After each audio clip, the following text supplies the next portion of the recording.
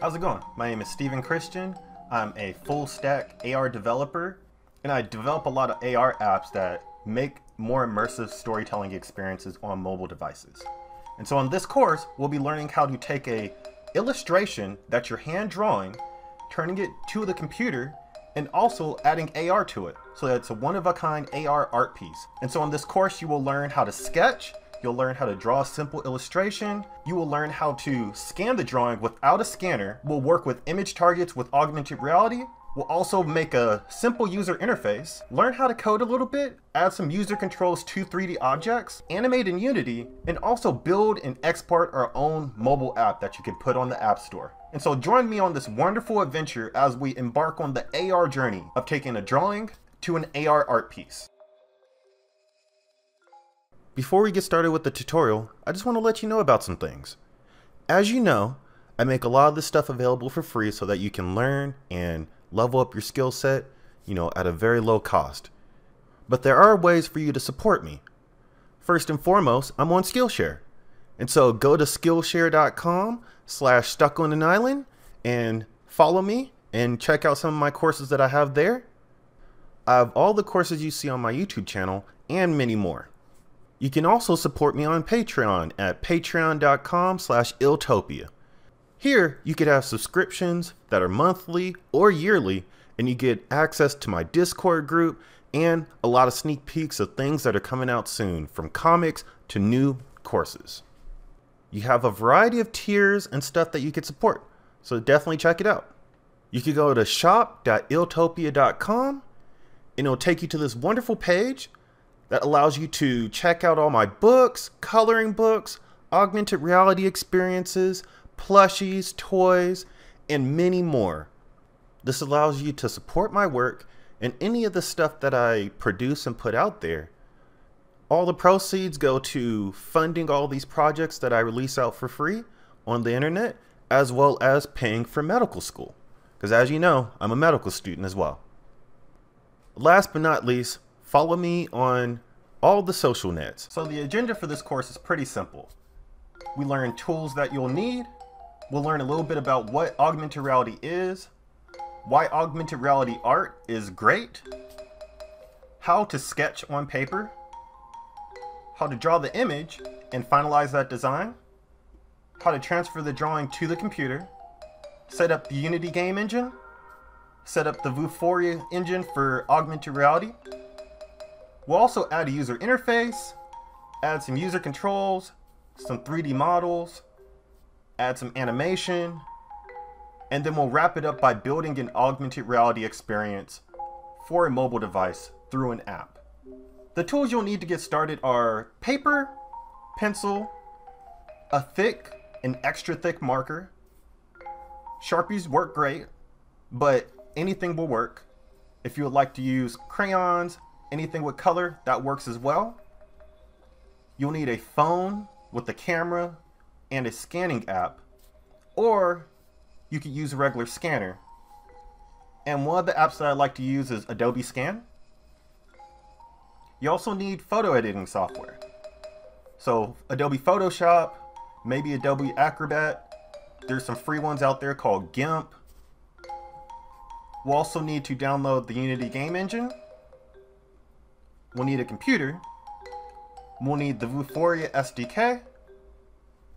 And we need that for Unity. And we'll also need a license key. There are some resources that you can download that will help you with all these things. Again, this class is for a bare bones beginner. And so anyone that's familiar with just writing on paper, that's all you need. If you have some computer skills, that works great as well. You'll be walked through this whole process from beginning to end. So the way this tutorial series works is I'll introduce what we're going to learn with this bullet point list. And then after that, we'll go through the demo. And then some of these sections are going to have challenges for you so that you can challenge yourself a little bit and take the creativity to the next level. And so stay engaged with it. Let me know how you feel. Rate and review this. Be active in the comments section. It's all about creating communities and being creative and empowering others to challenge ourselves with our creativity. And hopefully, that will inspire everybody else to take it just that one step further. With this section, again, if you want to skip the section and just go on to the demo, you can do that. If you want to stick to the breakdown, you can do that as well. In this video, we'll learn how to sketch. We'll figure out what we want to sketch, start with simple shapes, maybe a circle, triangle, or square. And if you want to diversify those shapes, you can cut the shapes in half or quarters to achieve certain shapes. We'll also combine those shapes to build an image, play with proportions and scale, and we'll flesh out the image with multiple drafts of the sketch. And so you need to ask yourself, do you want to sketch a person,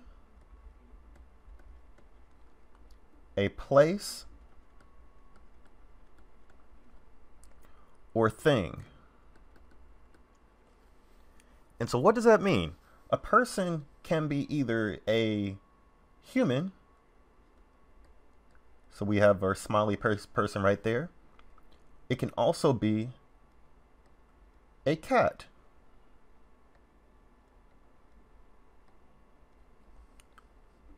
Or even a bird.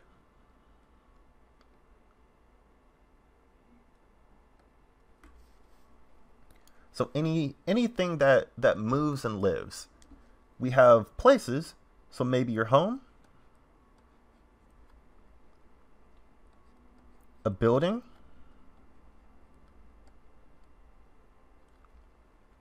or maybe even the beach.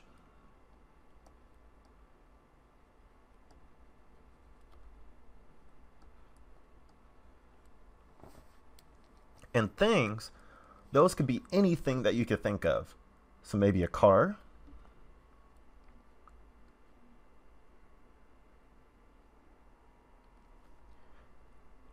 A crayon.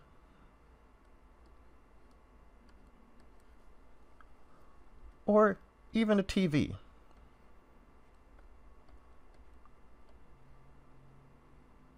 And so what I always like to think about is setting everything up into basic shapes. So we have a circle, we have a triangle, and we have a square. And those are the key foundational elements for creating all these things. And so say if we wanted to make a person, we'll start with just a circle, and we'll just draw a circle, and that will be the head. For the eyes, we could have two more circles. We'll have one circle there, one circle there, for the eyes. One of the things that you could think about is if you have a circle, you could actually cut it into halves and quarters. And we'll do that with the we'll do that with the nose. And so instead of drawing a full circle, we'll do a half circle or maybe a C. And that gives us our our nose. And last but not least, we must have a mouth. And so we'll just do another half circle and we have a smiley face. If you want to take it to the next level, you could give it some ears. You could have it cut in half vertically. And we'll have half circle for the ear, and we'll flip it the other side and another half circle for the ear. Next, we have our body, and we could do that with our rectangle. And so we'll make a rectangle and connect it to the head. We could do another half circle, and that could be the hips, and two more half circles for the shoulders. And so one thing that makes things great is that we can also add lines to this.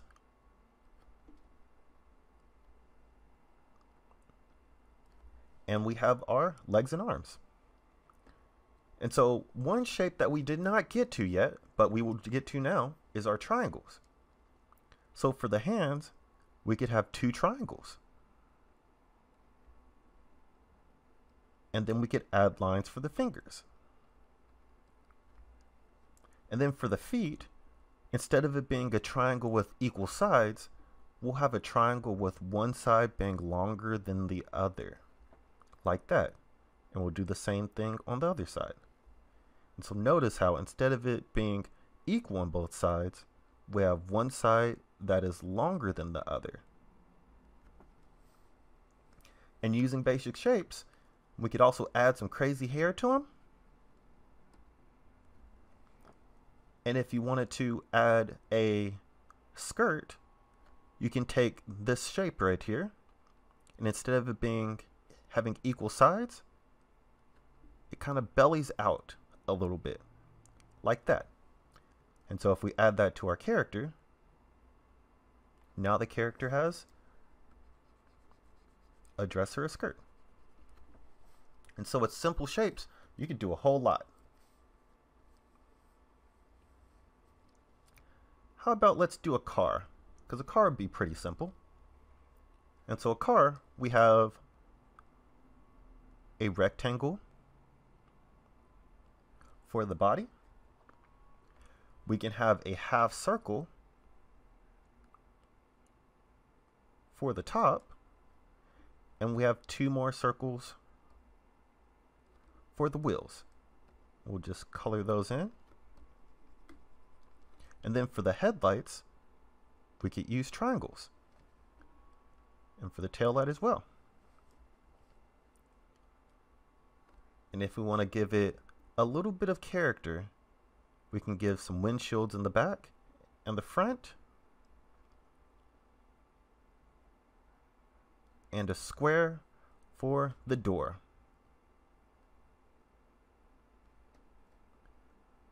Then we could add a rectangle or a triangle for the handle. And again, with simple shapes, we have our car. And so now that we have an idea how to create with simple shapes, now we could sketch on paper. The challenge for this is to figure out a finalized sketched idea. So come up with a sketch sheet with all the different ideas, include a person, a place, and or thing, and then share your sketch ideas in the project section. In this video, we'll learn how to draw the image from the sketch onto paper. So we'll use a pencil to sketch the image. You start off with a square and turn that square into a cube. You give it a smiley face and some character and you give it a name. And then we'll use the Sharpie to trace over the sketch, add some bold lines that can't be erased, and then we'll take the thicker pen and give it a little more contrast to make it pop. In this video, we'll learn some cross-hatching techniques that allow the sides to have a little more depth and texture. Again, if you want to add some color to it, definitely do that. Okay, so in this video, we will be talking about how to actually draw our image that we're going to be making into an augmented reality uh, art piece. If you've seen with all my other videos, I go into detail about how to draw but this is really about making augmented reality stuff and really making original augmented reality stuff using the tools that we have in front of us. Instead of it being a, a wonderful masterpiece, which we could get into that later, this is just going to show you the process of it. And so uh, you won't be coming out of this video learning how to draw a masterpiece because uh, I have other courses for those, but you'll understand uh, sort of the process uh, with the very simple illustration. And so uh, with that, if you want to see more, you could check out my character design course. You could check out my how to draw with stickers course. You could check out a lot of the different other courses that I have available. And so with this, we will really just focus on uh, the core concept. And so in this tutorial, I want to focus on the cube because the cube is really, really great for allowing us to do a whole bunch of different things. Uh, it's sort of the building block for everything, whether it's Lego blocks, whether it's uh, bricks, we can do a lot of stuff with the cube. And so what I'm going to talk about essentially and, and demonstrate is uh, designing a cube that will work for this, uh, giving it a little bit of character. And so I have my pencil, as you can see. And so with the pencil, I'll just go ahead and design a cube. And so one thing to note is that a cube is made out of multiple squares. And so we're not going to be, we're going to start off with the square, but we're going to move on to the cube. And so with the square,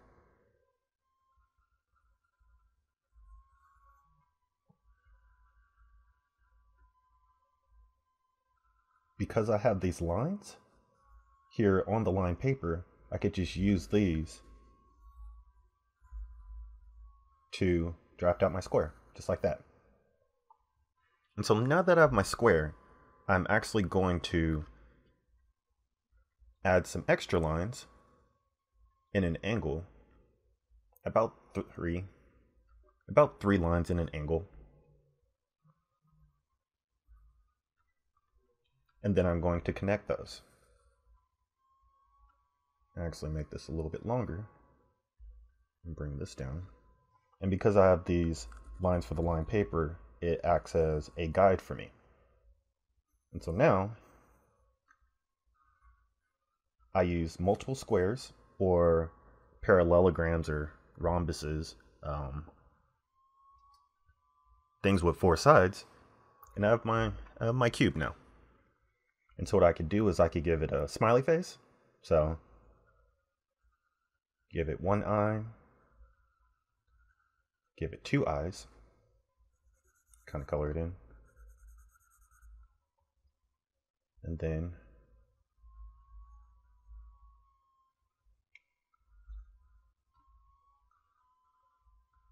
give it a mouth.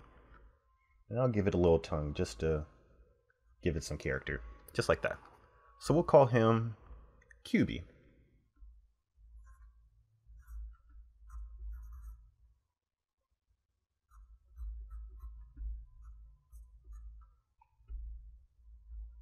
And some little boxes.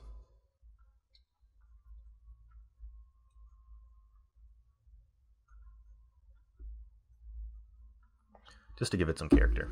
So we have our sketch called QB, and we did that just with a pencil.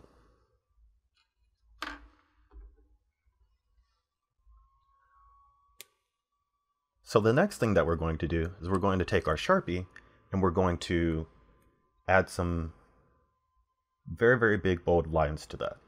Uh, because one of the things that we need to do is we need to scan this into the computer.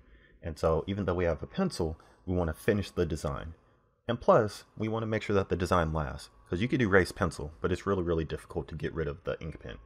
And so all we're going to do is just go over this with our ink pen now. And so I'm using a Sharpie. You can use any uh, sort of markers and stuff that you like, but I like a Sharpie.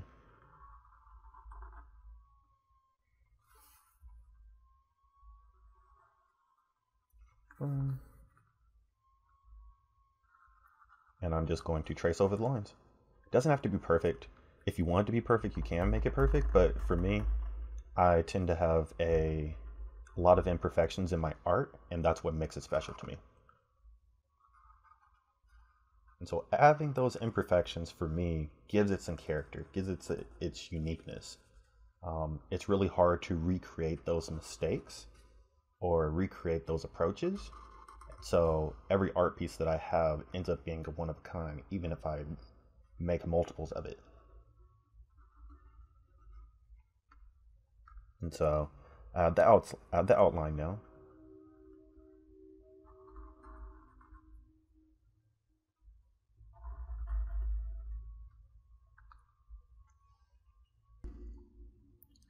And so now that I have the outline of it, I will go ahead and trace over the eyes.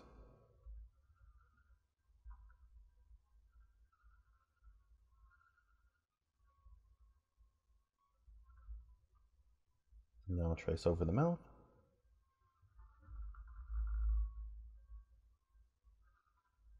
And then I'll trace over the tongue, like that. So I can go ahead and color in the mouth and the eyes, just like that. So the last thing is the finishing touches. It's adding the lines to the words so that you can see those.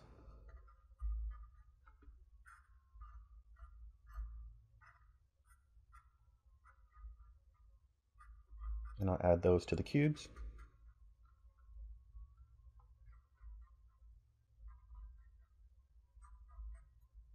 Like that. And then I will take a thicker pen and I'll go over all the outlines around the outside just to give it a little bit more pizzazz. It's what we call contrast, and contrast really makes the art pop. So even though it's a very simple design, you can make it pop by adding contrast to it. Color, contrast, and a few other things that I often go over in all my other art classes. And we're getting into art theory here, where uh, art is subjective, and to manipulate that subjectivity, you're able to do certain, use certain techniques. And so with it, now that the outline is a lot bolder, it allows the actual art piece to pop out a little bit more.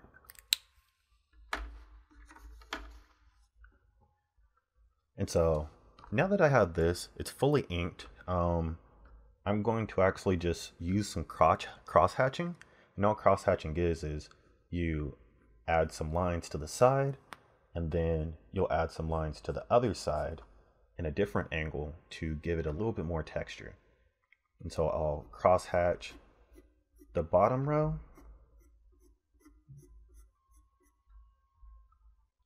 and I'll cross hatch the side so that we know that there's there's multiple sides and that they're all not facing the same direction. And then I will crosshatch the other side.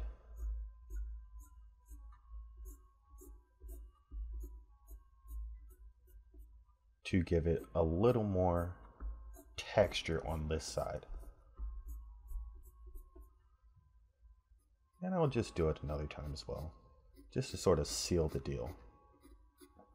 And so I did cross hatching going from left to right and right to left. Now I'm going top to bottom. And so now I have a forward face, then I have a face that has a little bit of shadow, and then I have a underside face that has a lot of shadow. And that is our cube. In the next video, we will be talking about how to make a digital version of this so we could put that into our app and allow the app to recognize this. The challenge for this project is finalizing that design. So we're going to finalize the design if you made a cubie like me, add some color and some personality to make it really stand out. Make sure it is a 3D structure and not a flat 2D structure. Instead of having a circle, make a spear. Instead of having a triangle, let's go with the cone. And then post your design in the project section below. In this, we're going to learn how to transfer the image from the paper to the computer without a scanner. And so making a scan without a scanner, all we're going to do is use our smartphone with the camera. We're going to take multiple pictures so that we have different ones to choose from. And if you don't want to use the camera, you could download a scanner app like Adobe Scan. There's other ones out there as well. And you scan the document, and then we'll edit the borders of the scan if you need to, to make sure it's uh, cropped very nicely. And then we're going to save it as a PDF or a JPEG. And the last thing is that we're going to send our files to the computer. I personally use Dropbox to send all my files, but you can email it to yourself. You could connect it to a computer, your phone to a computer, to uh, transfer the files directly. It's up to you. And so this, I am going to be showing you how to make a scan without using a scanner. All you need is your actual phone. And so I have a Android device right here. I have a smart smartphone. And with the smartphone, I can either take a picture, which I'll show you, or I could take a scan. And so I'll show you both of those. And this will show you how to take your artwork from your paper and convert that to a computer. And so now that I have my smartphone, I'll actually open up the camera app and I will point it in front, make sure there's no bad shadows, and make sure it's facing above. And we'll just take a image like that. And the big thing about the image is that it needs to be needs to be parallel to the phone needs to be parallel to the actual image so that you can get a really good image. So I'll take another one. It's always good to take multiples. and then you send that. But I'll send these all at the same time. And so uh, another one is I use Adobe Scan. And Adobe Scan works very, very well because it will trim the edges so that I don't have to. And so I will just scan it over the document, hold it steady,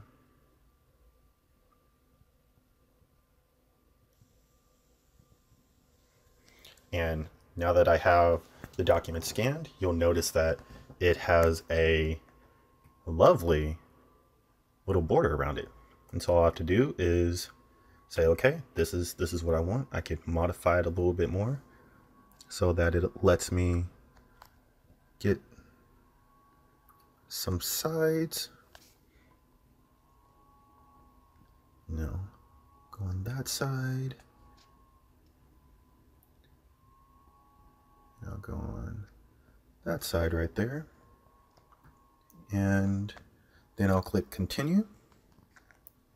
And from there, I have my image, QB, and I can save it as a, so I'll just name it QB, not Cabby, but QB.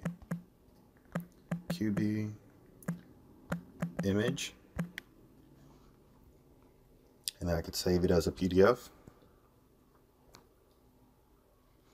And I will actually share it. Click share. Share a copy. And I will share it, add it to my Dropbox. By adding it to my Dropbox, I just click add and it will automatically send it. Yep, file complete and it just sent it. So now I will actually do that with the images that I have. So click images.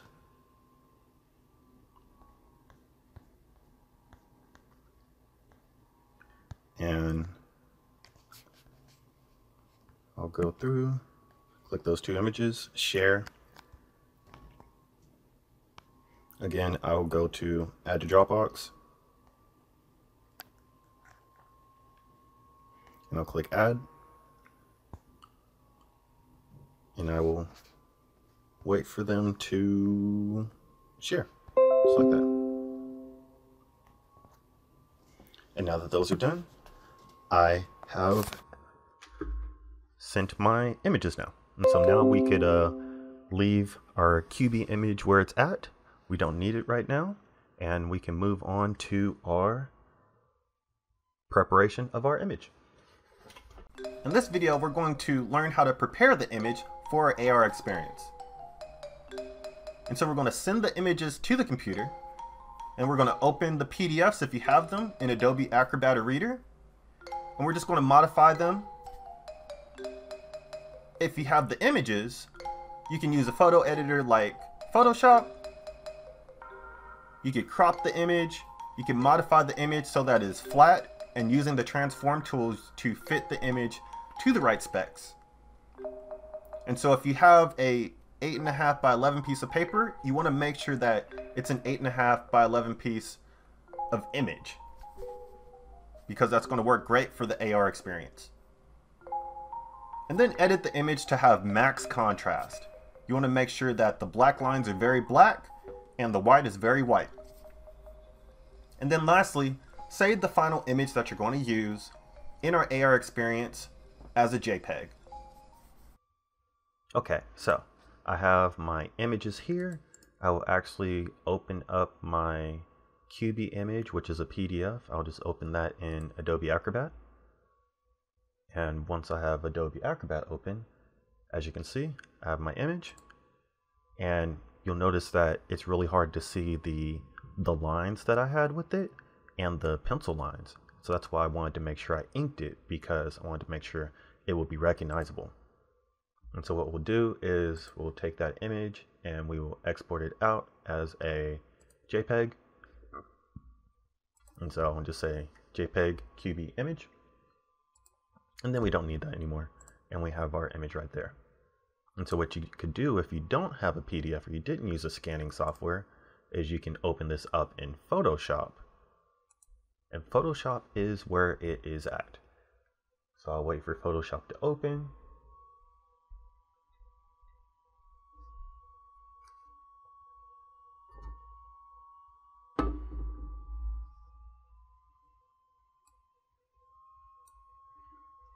And so now that we have Photoshop, I will actually come out of that and notice how we have our image. So with Photoshop, we will actually click the unlock button or click the lock button to unlock it so that we could actually edit this layer. And then we are going to click Control T to transform it. And we're going to use our align tools. And so I like to pull down a So with it, I, I would like to pull down a ruler to make sort of a bounding box. And so a ruler at the bottom, ruler at the top, pretty much making sure that it cover it touches the top and the bottom. And then I'll add a add one right here for the vertical.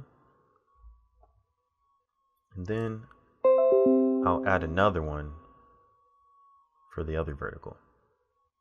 And I'll just have it about right there.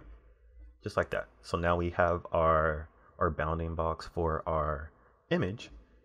And so all we have to do is just use the transform tools to fit the image to its, its right specs. And so I'll do control T or command T, or if you want to go up to edit, uh, transform, we'll do free transform. And with free transform, you can grab, you can hold controller command on a Mac. I think it's command on the PC, it's control and you can just move it up to the side so that it that the top corner touches of the top corner of the white paper touches the corner that we made and then we can do the same thing on the other side and then we will and then we will have the bottom corner touching and then we'll have the bottom corner on the other side touching and so again, you may have to play around with it a little bit. It doesn't have to be perfect, it just needs to be recognizable as a piece of paper. And good thing is we have a plenty of other images that we could use as a backup as well. But uh, for the most part, this looks pretty good. So I'll go ahead and click OK. And I will actually crop this so that the crop only shows, whoops, I don't want to have multiple, multiple rulers. Okay, so I will crop this so that it butts up with the actual rulers right here. And we get rid of some of the, some of our grid that we had. And then we'll click OK. And then I'll hide my rulers so I have a better view. So I'll go to Show, and then where it says rulers, actually not, whoops. I want to say I'll hide my guides. So I'll hide my guides, and now we have an image like that, just like that. So then we can go through, we could save it. We don't want it to save as a PSD. We want to save it as an actual image, and so we'll go to JPEG. And we'll say that this is underscore cropped. So just in case we need to go back to it. And we'll save it as the maximum. So now we have that. We'll see our cropped image and then we'll see QB image, which is the one that we scanned. And so now, time to set up Unity. So in this video, we'll learn how to install Unity Game Engine. We'll visit unity.com. We'll select new or returning user. We'll download the Unity Hub install the application on our computer. We'll also open it, download the latest version of the Unity install. You'll probably need Visual Studio and maybe some iOS build support or Android build support for mobile AR. And then we'll select a folder for all the Unity projects and make sure that we have the right versions for all the projects. So in this video, I'll be showing you how to download and set up the Unity engine, which we'll be using for a lot of our augmented reality stuff and some of our gamification stuff. And so at first, you just go to unity.com. Once you have Unity set up on your web browser, you go to get started and then it will say business plans. Uh, you probably don't need one right now. Obviously, you're probably not a business and you're probably not making money in games. And so you could go to individual. And then for individual, you could sign up as a student if you have a, a .edu or a, a, student account, a student email address. Uh, but if not, you could do a personal account we have our personal plan. And so, again, it's free. And the eligibility is that as long as you're uh, making less than $100,000 uh, each month with game development and everything, uh, you could, you know, pretty much play around with it and do all the development you want for free. And so, go ahead, get started. And then from there, all you have to do is say, uh, for me, I'm a returning user. Uh, but if you're a first time user, you just click here and then you could go to agree and download for me, I'm a returning user, so I go here and then I could download my Unity Hub.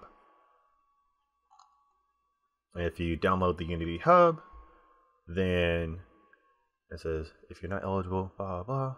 Yeah, you download the Unity Hub, and with that, I'll go into my folders, and it's this thing right here. So you go ahead, double click it, install it. If you're on a Mac, it's a different situation to install it but go to agree, install, all that stuff. already have it installed, so I'm not going to do that. And then from there, you have the Unity Hub right here. You go ahead, and click it. And once you click it, you need to go to installs. And after you have installs done, you go to add. You can see I have two different versions already and we could go into that another time. But essentially, uh, you'll notice I'll have uh, 2.3.2 is available. So I'll actually go ahead and restart now. I'll actually go ahead and restart it.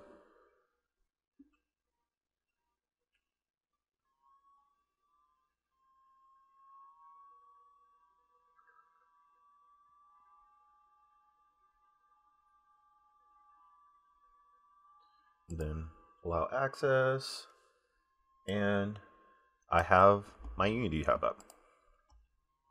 And so go ahead, refresh it. These are, so the way it works is uh, when you come in, you have all your projects. And so these are all the projects that I'm working on in Unity right now. Uh, so you have the project name, it gives you the folder that it's in, and it gives you the Unity version. And this is important because you want to make sure that you are using the right Unity version for your apps. And so when you go to Unity version, you can choose different ones. I have two. And so make sure that uh, with each each one, you want to make sure that you have the uh, either the exact one or a one higher. And so if this is uh, 3.7, that means that it won't work on 3.6. It could work on 3.8, but it won't work on 3.6. And so that's just one thing to pay attention to with current platforms, target platforms, that's just like what device you're about to use it on. And so I have Android, I have iOS. I do most of my development in Android, so I wouldn't have to worry about that. And then uh, last modified, that's just, you know, I've worked on these over the course of the week or over the course of the month. And then if you want to show the actual project folders in the Explorer, you can do that. And so these are where my actual projects are. They actually live on a on in different hard drive space. And so that's the projects tab. In the learn tab, these are all the beginner projects that you have. And so these teach you or walk you through how to how to make games, how to make different apps, mainly games because Unity is a game engine. Uh, so these are like beginner projects that you could play around with. And then there's tutorials that you could take a look at that allow you to learn more and more about Unity and scripting and animation and all those different things. And so they're they're really great. Then there's a community. This just shows you we're all like the Unity forums and answers and, and helps and blogs and all that stuff is. Uh, I don't really use that that much. Uh, I probably should, but I just find that Google is really uh, much better for my workflow. And then installs, you'll see I have two installs already, but you can go to add. And if you go to add, you'll notice that there's uh, Unity official releases. So we have the beta releases or the pre-releases that they're still working on. I would say shy away from those right now because you probably don't need to do use these for any of the stuff that we're talking about in the videos. But uh, you know, there's 2017, there's 2018. These are long-term releases. These are for like the evangelists. A lot of the augmented reality stuff is only available for 2019 because there's a lot of new stuff that has been updated with 2019. And so uh, I tend to go with the, the latest official release unless I already have a release that I'm working on. And so with 2019.3, anything after 20.3.7 uh, 2019.3.7 is uh, is really good for all the projects that we're doing. And so I'm working on 3.7 until you could do 14 or 15 or uh, anything like that. Even if there's a 2019.4, you could do that as well. And so select it. It's ten, it tends to be the first one that's selected already. Uh, then you go to next. And so and so this is where all the the important stuff is you want to make sure that your development tools are selected. So you want to use Visual Studio. Uh, if you have community or if you don't have community, I would suggest getting that. I use Visual Studio Code and we will go into that in some of my tutorials where it's a it it looks different, but it pretty much does the same thing. It's a code editor. And so uh, you know, make sure you have Visual Studio in, installed. Then after that, you want to make sure that uh, for all the mobile development stuff that we do, you want to have Android build support installed. And so you want to select this and you want to make sure all of these are selected. Quite often, you can select one of them and then these won't be selected. So make sure you install all of this stuff because all this stuff is really important. If you're doing iPhone building, then you could have that selected.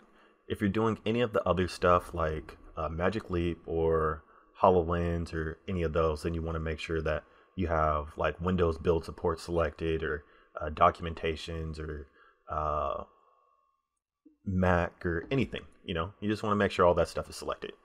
Then afterwards, you click next, and then it will start downloading all of those packages. And after they download all those packages, then it will uh, install in your computer and it will show up just like another box right here next to all of these. So one of the things you want to pay attention to is that when you have a whole bunch of installs, it will take up a lot of space in your hard drive.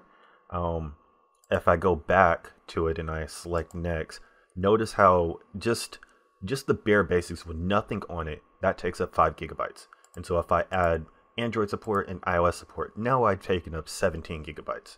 And so I have enough space, but for computers that don't have enough space or don't have a lot of space to sort of give to these, uh, each one of these are going to take up at least 15 gigabytes. And so these two right here, already 30, 30 gigabytes. And so uh, something to pay attention to where I used to download the latest and then I would actually delete the, the more recent one. And so you go through an uninstall or you would uh, do all that. But if you want to add a module, so you could go through and you could add another module. So say I have uh, Android build support and I have iOS. So say I wanted to have Mac build support. Uh, I could add that by just clicking that and then I it will add to my uh, total space that I need for it, and then I'll click done, and then it will download all that stuff. And so right now, I will go ahead and create a new app. So I'll just go to download, and we'll just say that this is a um, Unity tutorial. Uh, you want to make sure that you're clicking 3D uh, 2D is for 2D stuff, but since we're doing AR and 3D stuff, you want to make sure that's 3D. Uh, high definition render pipeline. This is for very high definition games or high definition animation. We don't have to worry about that because mobile development does not work in high definition. And universal project template, those are typically, you know, you, you're better off just using 3D. That's just what it comes down to.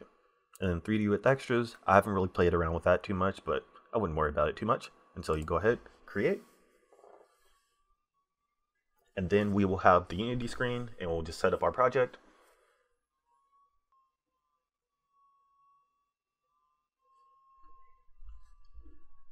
And so now we have Unity. Uh, one of the things that you'll notice is that the layout is a little different for me, um, and that's because I'm using a custom layout. And so what I would do is I'll actually save my layout as, we'll just say Stevens layout right there. So I'll just click save, boom, and uh, you'll notice that it says Stevens layout right there. So if I click default, this is typically the layout that you will have. And you have the projects right here. So this is where all your project assets are. And so say you have images or 3D models or scripts, this is where they would go. Uh, you'll notice that we have a scene. So the scene, we're in a sample scene. And in the hierarchy, this shows you everything that's in your scene. And so when we're building out our animated stuff, if we're building out our augmented reality stuff, all that stuff will be built in here. And you will be able to see it right here. And so we have our main camera, we have our lights, all that jazz. So if I go ahead and uh, take a look over here, we have our inspector, and the inspector is only used when we want to manipulate any of the objects in here in our scene. So if I click main camera, you'll notice that stuff appears in the inspector. You know, the camera, the transforms, all that stuff. And the same with my directional light. We have a lot of different stuff that is specific to this game object, and they will change. The game view is the view that we see with our through our screen. And so if we're playing a game, this is what we're going to see as we're playing the game. We're not going to see this. This is the behind the scenes this is the actual uh, game view that we're going to be looking at. The asset store, the asset store is going to be your best friend. The asset store is where you get all your different assets. So, say you bought something from the store, uh, you bought some models, you bought some effects, some scripts. You can add all that stuff from the Unity asset store to your game without having to download it and import it and all that stuff you know, they make it really, really great to do this. And so, one of the things that you need to do is look for the free assets that are available. There's tons of free assets. I think there's 5,986 free assets. Uh, look through all those things and see what stuff you could use in your game. For example, you could get some platform game stuff, some Sunnyland 3D models, some basic motion, you could do a whole bunch of stuff with this. Uh, definitely, you know, I can't stress enough how how great these assets are.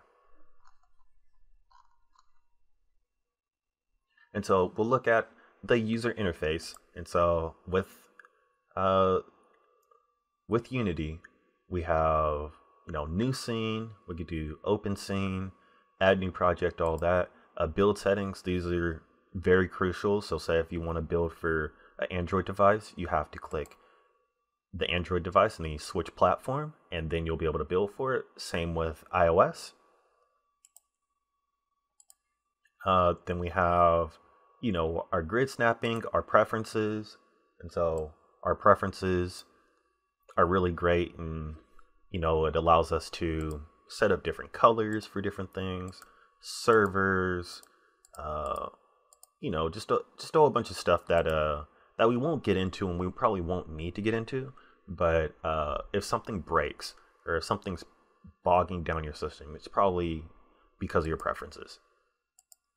And then assets, this allows you to create assets, whether it's an animation controller, a folder, a script, uh, all those different things. Uh, game objects, this allows you to create game objects within your actual scene. And so cubes, spheres, capsules, cylinders, uh, even audio sources, videos, text, all that. Uh, components, these are components to add to your game objects. And so, whether it's a rigid body, a video player, a mesh, uh, you know, animation, augmented reality stuff, the, these things are the things that you would add to your game objects. And then when you come to window, you want to make sure that, again, you could access the asset store, but you could also access the package manager and one of the package managers is, is allowing you to actually look at the packages you could download. And so, say you want to use the Vuforia engine, you could do that. If you want to do some of the XR stuff, you could do that. If you want to try AR Foundation, you could try that. You could do some ad stuff. There's just a lot of stuff you can do. And so if you go to the uh, Advanced tab, you could actually show preview packages, and these are things that are up and coming. And so you'll notice how it says preview here, and these are the things that you should be looking out for because these are the the best parts, the new the new bells and whistles for all the augmented reality stuff and all the uh, user interface stuff and all the game development stuff that Unity has coming down the pipeline. And so we have stuff in your projects. And so if you have certain packages in your projects, uh, this is where you would go to find them. You'll notice that there's a check mark here. And that means that this one is up to date. And if there's a downward arrow, that means that you could download it.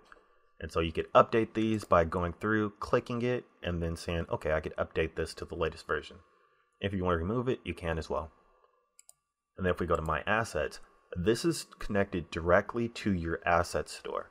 And so I have a whole bunch of assets because I do a lot of development. And so this probably won't be as long for you, but having a whole bunch of assets allows you to create a whole bunch of different things uh, with water simulation, with tune effects, with animals, all those things. I think I have a low poly animal set. I have a cute zoo pet set. I have cute pet set uh, with cats and horses and all that stuff. It, you know, the asset store is really great. And all I have to do is just download those things and then import them in. And so if I go in and I go to build settings, I can go to player settings and player settings allows me to set up all the stuff that I need to export my app and set up all the physics and all the different settings that my app will be running off of.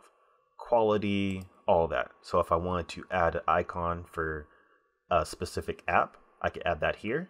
If I want to change the name of the company and the name of the app, I could do that. If there's certain versions, I could do that as well.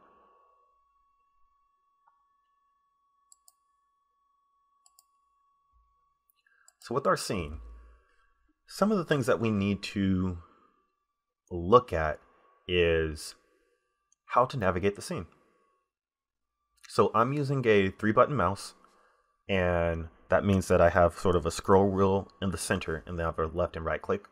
So with the left and with the left click, I can click around or I could click on an object and, and move it around with all these arrows.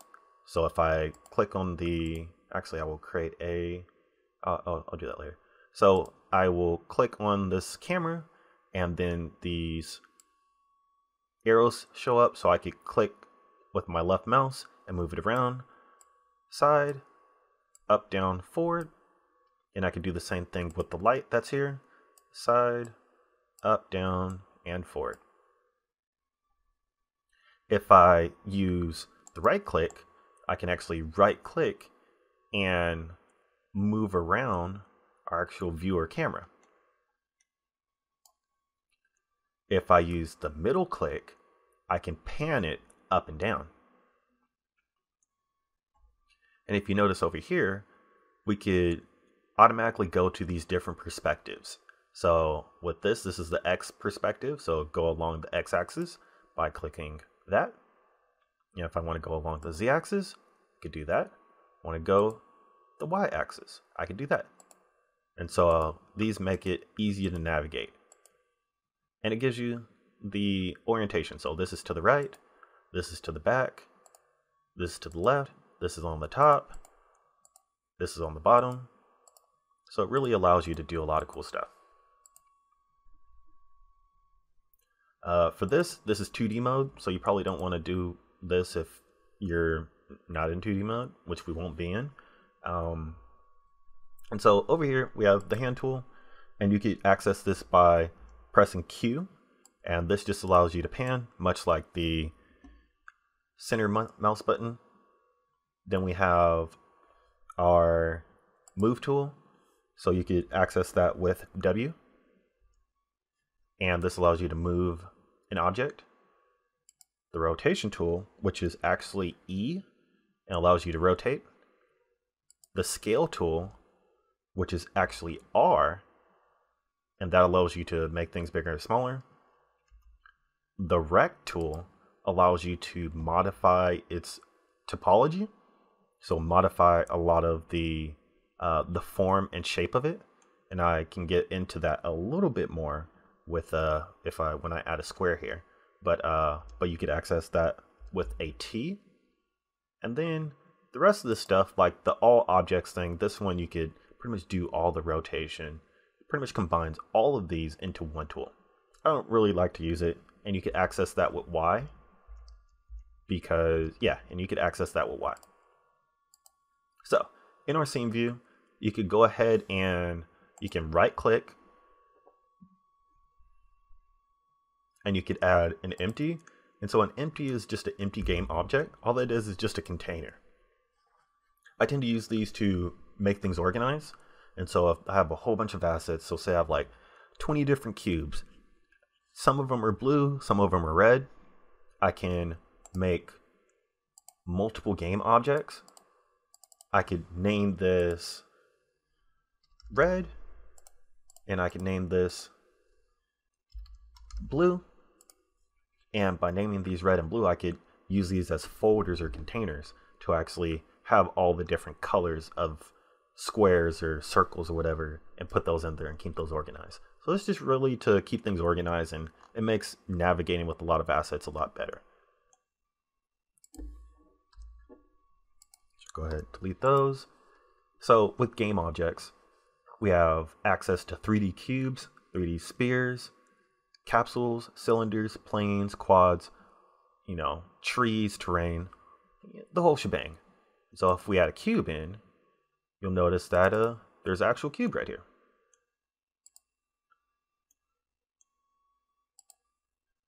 And so if I actually rotate it around, you can see that there's a cube there.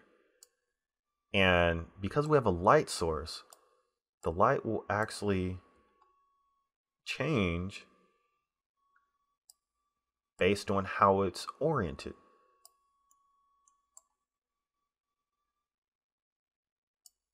Like that. And so again, we could rotate it. Do some rotations. We can move it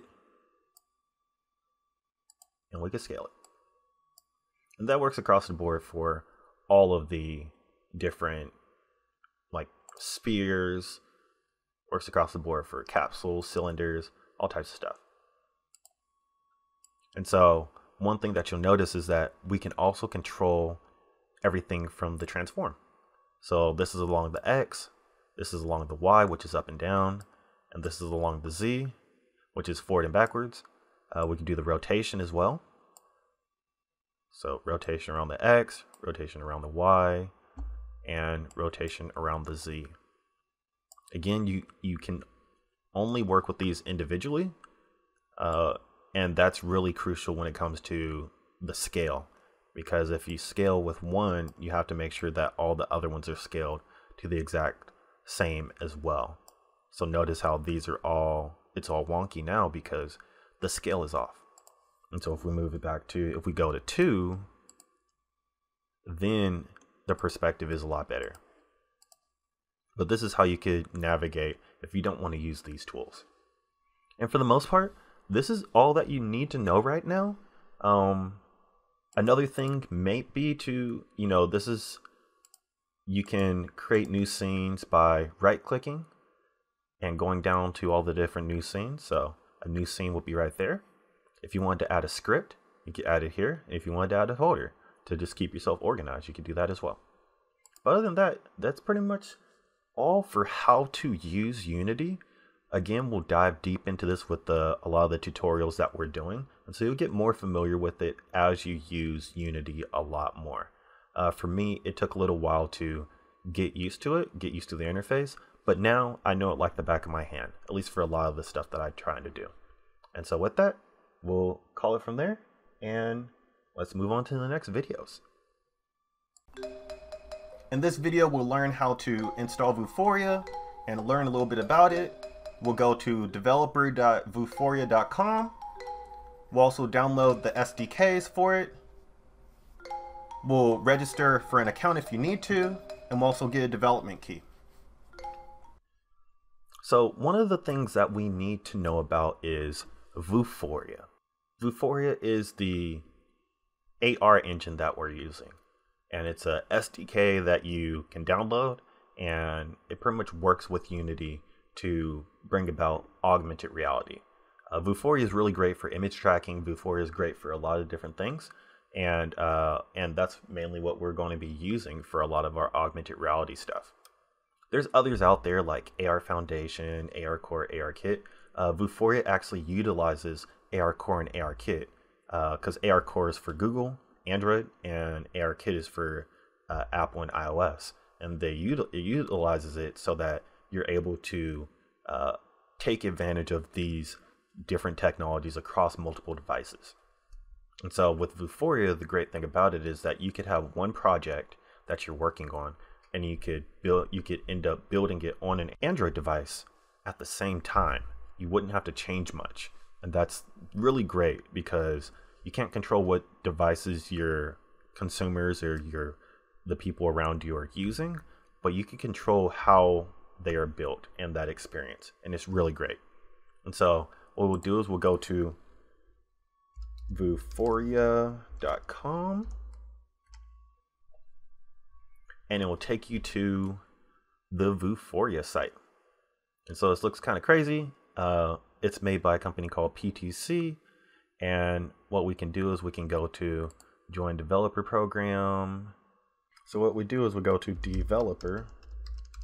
developer.vuforia.com.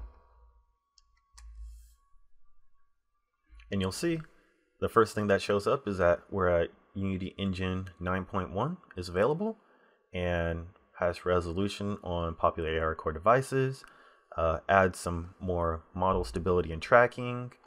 Uh, if we go to the home page, which this is, it, it just gives us a little bit more stuff on, on what we could expect. Uh, we can go to pricing.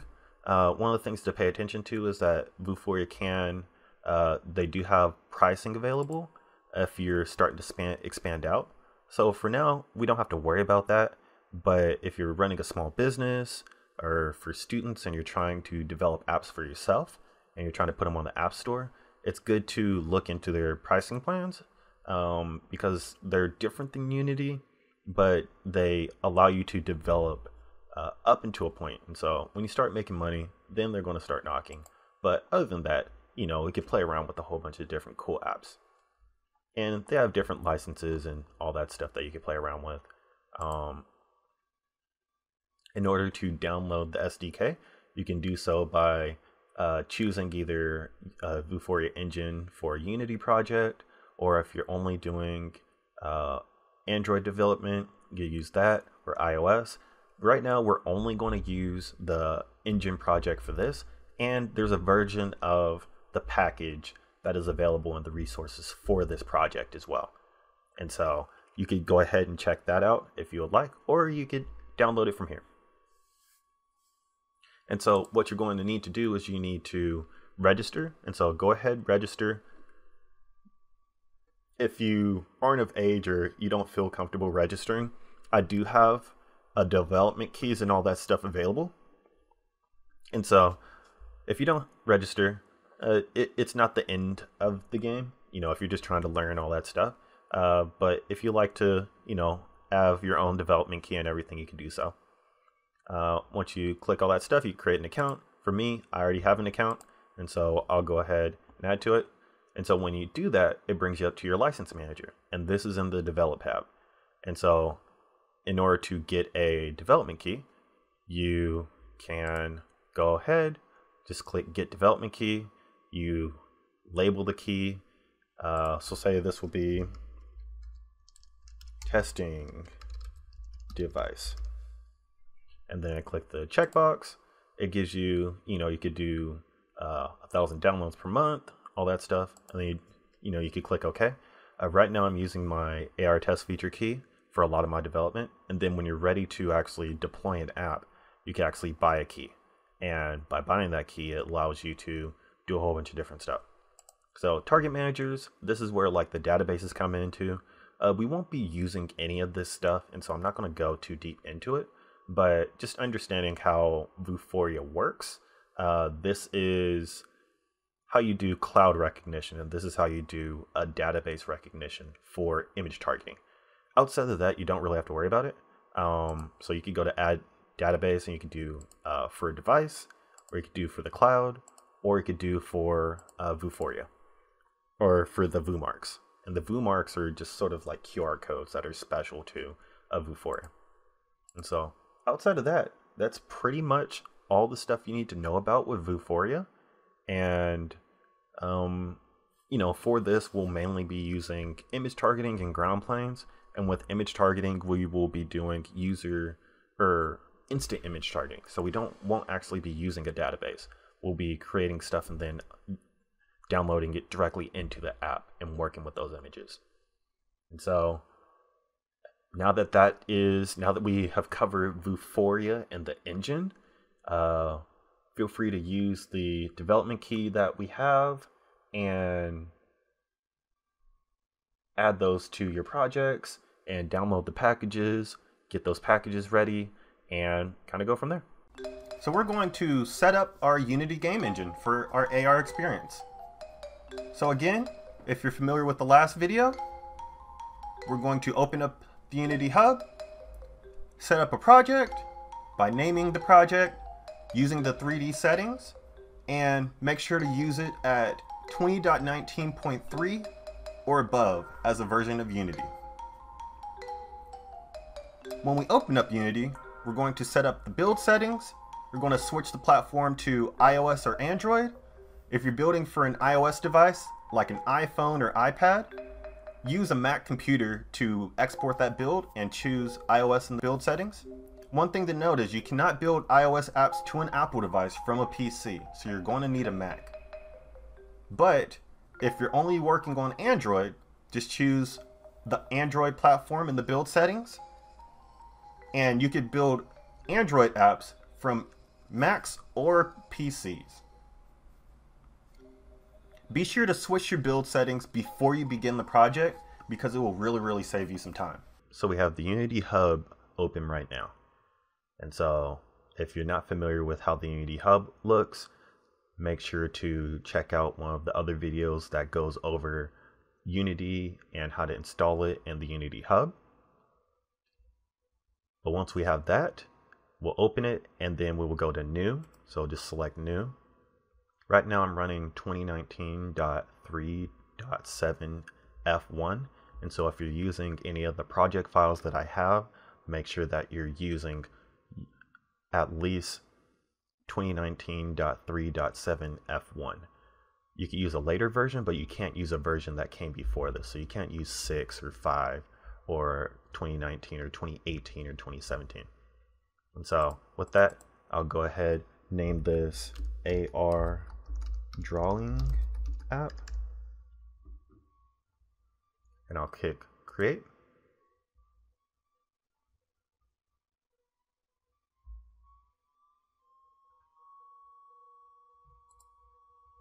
And as that sets up, we're just gonna have to wait a little bit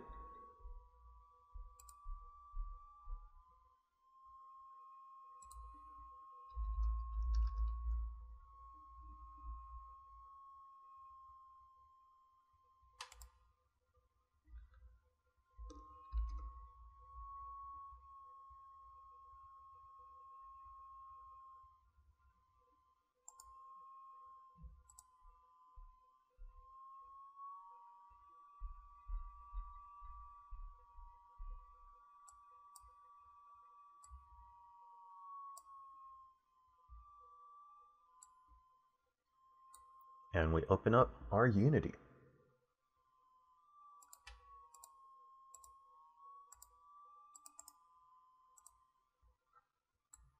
So now that we got Unity open, one of the things we need to make sure that we have ready is before we start adding packages and before we start adding our images and stuff, we want to make sure that we're using the right build settings. And so we'll go over to File, we'll go over to Build Settings, and the build settings menu will pop up. right now it says working on PC, Mac, Linux standalone. I don't want to use that. And so uh, for me, I use a lot, I do a lot of app development with Android. You could also do iOS, but with Android, we'll go ahead, and click Android, and we'll go ahead and want to switch platform. Again, if you're using iOS, make sure you click iOS and switch platform. The only thing is that if you're working on a PC, you won't be able to develop an iOS app for uh, Apple devices on a PC. You can only build to a iOS device with a Mac. I have a MacBook. I don't do that for a lot of my development, but I use it specifically for iOS development, and I have an iPhone as well as a development device. And so for this, I'll be focusing mostly on Android, but the process is exactly the same in Unity. And so don't think that you have to choose one or the other now. Quite frankly, I will do a lot of development in Android. And then when I'm ready to push out a build to iOS, I'll just go to iOS and I'll click switch platform.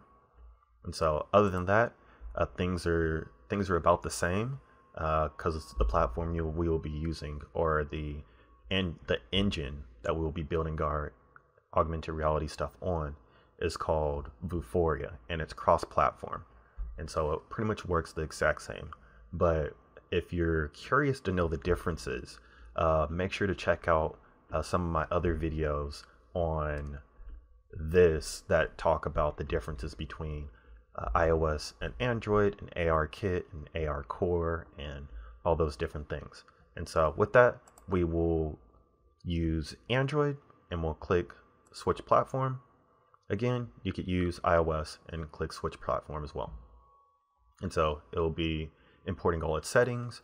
And the reason we're doing this right now is because we want to make sure that it doesn't take forever to import the settings and switch it over.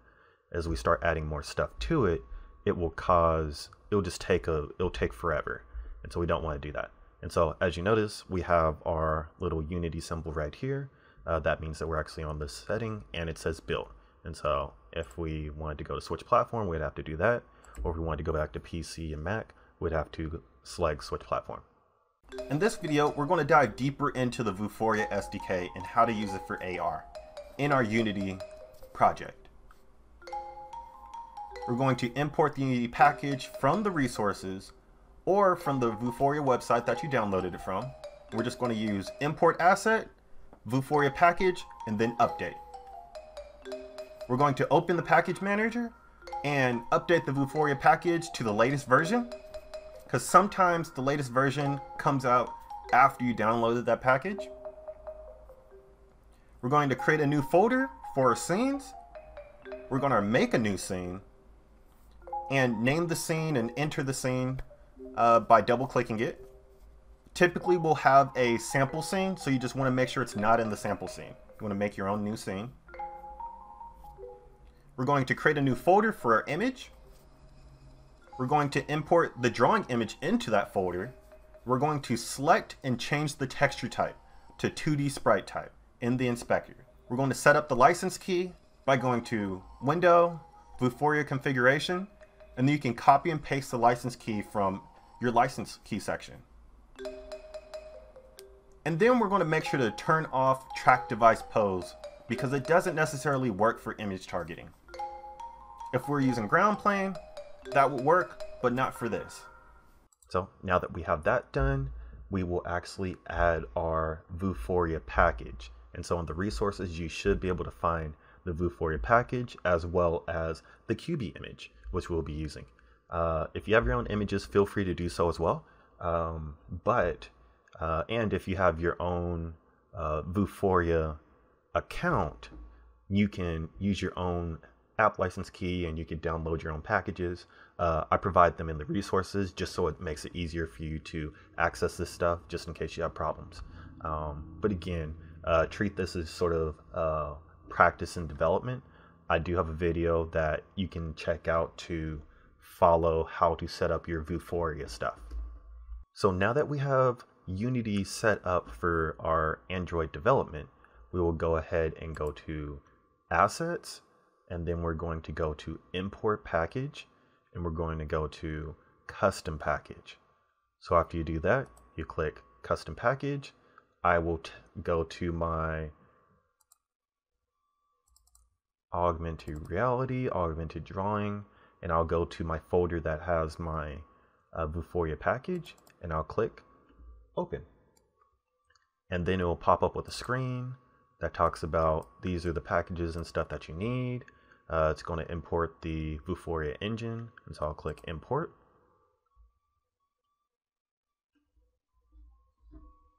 Then it's going to say update, so I'll do that.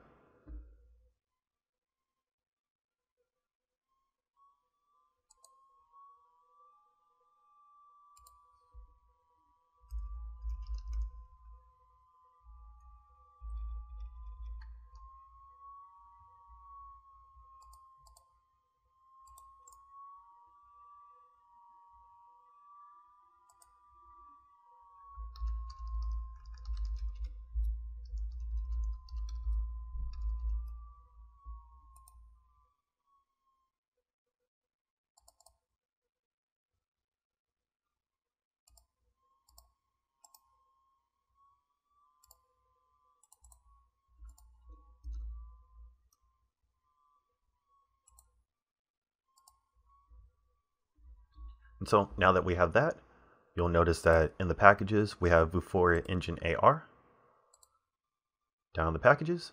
And if you go to Windows, you'll notice it says Vuforia Configuration. And if you really wanted to check, you could check in the Package Manager. And we could scroll down where it says Vuforia Engine AR and notice how we could actually update this. And so I will go ahead and update that right now. So if you're using the package that I provided in the packages, uh, make sure to update it to the most recent Vuforia package. So we'll go to update and we'll just update to 1.7 or 9.1.7. Uh, if you're looking at this at a later date, then it might be further along. Uh, so it might be at 10, or it might be at 11, or it might be at 9.5. But at the current date, you know, this was published on March 18th, so we'll go ahead and we'll just click update.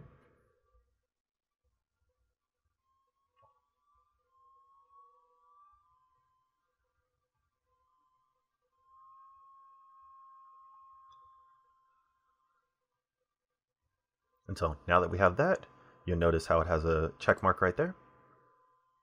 Again, nothing should change uh, except for it's updated a little bit more and you'll see that uh, Vuforia AR is right there.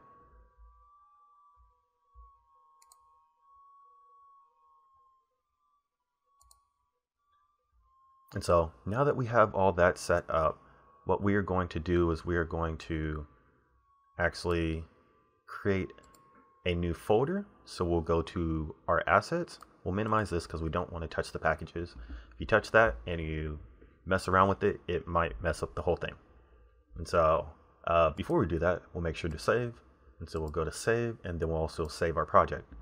Um, not really sure what the difference is between save and save project is, but I always just try to make it habit. And so in this, we'll create a scene, we'll go into scenes and we'll right click and we'll go to create. We'll go to create scene and it says new scene right there. We will actually label it. We'll turn it into AR drawing. So we'll call it AR drawing. We'll just double click it to get out of our sample scene because uh, it always comes up with sample scenes, but you want to make sure to double click it. You know, notice how it says AR drawing right here.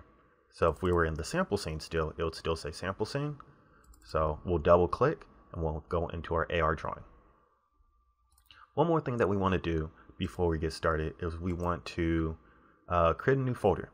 So create a new folder and we'll call that folder images. And then we will, uh, yeah, so that's what we'll do. And so one thing that we can do now is we could go into images. We have our, all of our stuff right here. And so we'll we'll go ahead and use our QB image because I really like how that one looks. And I feel like I'll get the best results because it's so, uh, there's a lot of contrast. With this one, it's cropped. There's a few, you know, problems with it. Uh, it's wider, but I think the QB image might be the best way to go. And so what I'll do is I will actually just drag and drop and add that to the folder. And so you'll notice we have our QB image. We have the image that's QB. And so what we'll do is we'll click it and we want to go into our inspector, which I have right here. And instead of it saying default texture type, we're going to change it to 2D sprite right there. And once we finish that, we're going to draw, we're going to scroll all the way down and click apply. And notice how it changes it so that we have a arrow. And that is actually our uh, 2D image. And so now it's a 2D image UI, a 2D sprite and UI. And so with this, uh, when it says sprite, it means typically for uh, 2D stuff and for user interface stuff. And we can talk a little bit about the user interface stuff a little bit because we will be uh, making that stuff as well. So one last thing that we want to do is set up our license key. And so we'll go to Window, we'll go to Vuforia configuration, and you'll notice how we have a section for our license key, app license key right here. And so what we'll do is we will, if you already have Vuforia set up with an account and everything, cool. You go into your Vuforia and you can set that up and I will show, I show you in other videos. Uh, but with this, we have a Vuforia license key. You go ahead, double click it, and I have a development license key that I use for all of my teaching courses. And so this allows me to actually do some of the features that Vuforia has. So I will actually copy and I will paste it right here. And if you needed to actually add a license key, you could just click this button and it will take you to a license key button. And so one, one other thing that I want to do is make sure that I turn off track device pose. If I turn off track device pose, it will disable some of the functions that are needed for uh, the ground plane, but we won't be using the ground plane. We'll actually be using image targeting. Uh, and image targeting doesn't necessarily work well with uh, ground plane optimized functions. So outside of that, uh, we'll keep everything the same uh, and we will move on. So now that we have Unity set up and we have Vuforia in our project, it's time to set up our AR workflow. And this is crucial to begin with because this is going to be the foundation for your AR experience. So we're going to set up your scene to build our AR experience. First, we're going to add an AR camera. And all you need to do is just right click the hierarchy select Vuforia engine, and then select AR camera. Delete the main camera in the scene. Add an image target by right clicking the hierarchy, select Vuforia engine, and then select image target. We're going to set the type of the image target to from image in the image target inspector. Then we're going to select the drawing image from the image selection box. Make sure that the image that you have for the drawing is a 2D sprite, otherwise it won't show up. Then we're going to set the dimensions in the advanced tab and make sure that it's in meters. And so if it's 8.5 by 11, that's in inches, find a way to convert it to meters. It's typically going to be a lot smaller. And finally, we're going to add a 3D cube. We're going to make that a child of the image target game object. So in this video, we'll be talking about how to set up our augmented reality workflow. And so again, we want to make sure that we're in AR drawing. That's our scene. If you want to delete the sample scene, you can. I tend to not want to do that, but uh, that's just a personal preference for me. And then from there, what we're going to do is we're actually going to start working in our scene. And so give yourself a, a good space in the scene view. I tend to have my game view off to the side I work with a lot of animation, so the animator and the timeline are always there. And the hierarchy is always something that I uh, need to make sure to have full access to. So I tend to have it in the center. but you could always change your layouts if you like. And I'll actually right click, I'll go to Vuforia Engine, and I'll add a AR camera. So when I do that, you'll notice that a game object appears and that we have an AR camera. So looking at the AR camera, we have it, we have a tag of a main camera and we have some other stuff like the device, the target eye, all those things. We won't really need to worry about that right now, but I could go into this stuff a little bit further if uh, if need be. But for the most part, you just need to know that we have an AR camera. So one thing that you need to make sure to do before you move on is you need to get rid of the main camera because you don't want to have a main camera and an AR camera. So what we'll do is we will get rid of the main camera by just right clicking and delete. And now we have our main camera gone. And since we have a tag of main camera here, this is going to act as our main camera now. And so this is actually the device camera that we will be using for augmented reality stuff. It gets really interesting when uh, we start deploying builds, but uh, yeah, we'll be using our AR camera. Next thing that we need to do is we need to add an image target. And so in order to add an image target, we just right click, we go to Vuforia Engine, and we do image target. And Vuforia has a lot of interesting things that you're able to do with image targeting. One of the things is that you can use your own images to essentially call upon them for augmented reality stuff. And so you'll notice that when we have image target behavior script, we have our type. And so we could use a database, which are images that you upload to the Vuforia database that recognizes them. And then it allows you to call on those images from a downloadable, downloadable database. And we go over that in, a, in another video. Or you could have user defined images, which are images that you define upon runtime. And so instead of us making our drawing and then scanning them in, you could actually make that drawing and then not scan it in. And then when you have a phone, when you have an app build ready, you can use the user defined to scan it on your phone in real time through the app rather than through Unity. And then Cloud Reco is if you have a database of images that you upload onto a cloud service like the Vuforia cloud service.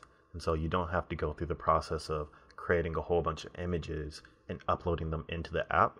You can upload them to a cloud service and then through the internet you can call upon those apps or call upon those images. And so with this, we're just going to use from image and uh, and then the next thing we're going to do is click select and then we're going to go to QB image. So double click that and then one of the big things you need to pay attention to is in advanced. We'll click advanced and you want to make sure that the height and everything is the right way. And so the width and the height are going to be in meters. Make sure you understand that because if I were to click 5 by 7, that would be 5 by 7 meters. And that's a very, very big image. We don't want that. And so this would be about 0.12 to 0.2. I would say, yeah, and so with it, we can uh, double click our target image. We'll just double click that and we'll click F. Uh, I guess that didn't work. I guess we'll just uh, scroll into the image right there. And I'd like to uh, press Alt and just rotate that image around. And so I'd like to have a better image. So now that I look at it, I'm able to zoom out. If you want to get rid of this camera icon, you go to Gizmos, and you just select Gizmos, and it gets rid of it. If you want to bring it back, just select Gizmos as well. Get rid of it just by selecting it again. And so, use the navigation buttons, and you could make it a little bit easier, just like that. So now we're going to add a 3D object to our image target. We're going to do that by adding a 3D cube to the image target by right clicking image target in the hierarchy. We're going to select 3D object, then we're going to select cube. Once we have the cube, we're going to scale the cube down to 0.08. And that's going to be in meters. And so 0.08 will actually be to scale that we actually want. Next, we're going to raise the cube up to half of its size. So because it's 0.08, half of 0.08 is 0.04, and we're going to raise it up by 0.04. And you'll see why once we begin the project. So with the image target, all this is going to be is our ground plane. This is something that we're referencing. So when you use this in the app, the app is going to recognize this image and it's going to call upon whatever 3D structures we are instantiating are putting on top of this. And so it's not actually going to show this, it's going to show the 3D stuff on this. And so in order to do that, first you want to make sure that you're saving it, saving and saving the project. The second thing is you're going to right click and because it's cubey, we're just going to add a cube. And so we're going to right click, we're going to add a 3D object called cube, and we're just going to put the cube there. And so when we zoom out, notice it's huge. And so all we're going to do is we're going to scale it down. So scale it down, scale it down, scale it down, so that it's not that big, like that. So I'll go to a different perspective and I will actually lift this up so that it is sitting on top of it. And so as you can see, we have a cube sitting on top of our thing. And so with that, I'll go ahead and save and save the project. Now that we have our base for our AR experience, it's time to test our app. And so first we're going to set the aspect ratio to the proper size in our game view because we want to make sure it matches the screen size on our device. Then we're going to select play to test out the AR.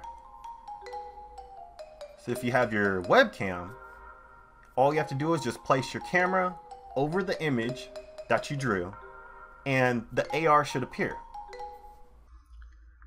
And so, now that we have that, we can actually test out how we're doing with our augmented reality.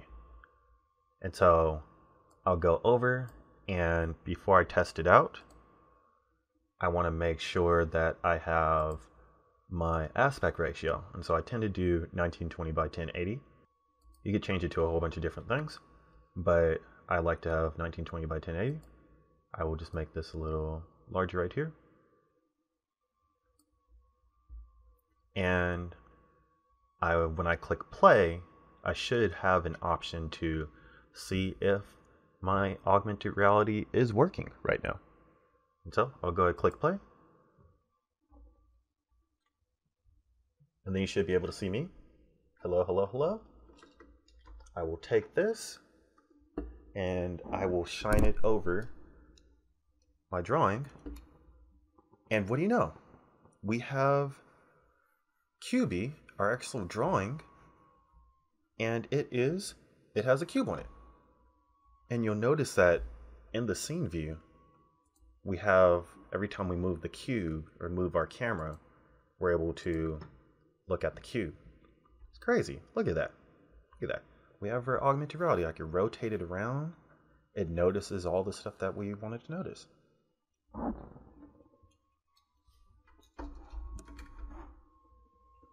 And so I'll go ahead, click play again, and so far that was a success. And so now that we have our cube, we are able to, we created a image, and after we created the image, we added the cube to it, and we were actually able to instantiate that. And all instantiate means is just making it appear. Uh, that's all it means. Uh, it's kind of buzzword, sounds pretty fancy and all that, but all it is saying is that uh, there's a 3D model or 3D object or game object is just going to appear. And so that's what instantiate means. And so again, we will save it. We will save the project.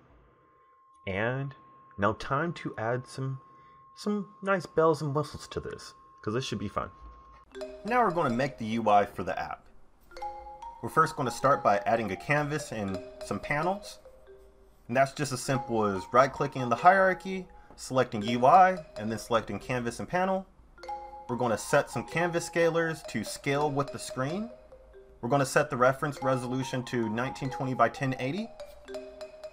We're also going to set the panels to the bottom of the screen.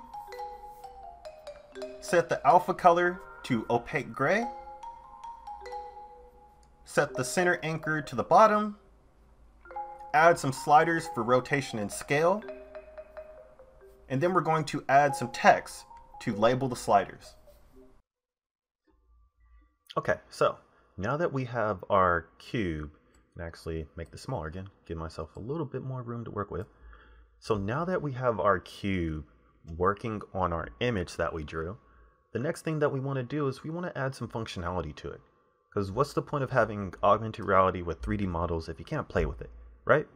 And so we're going to add a function to make the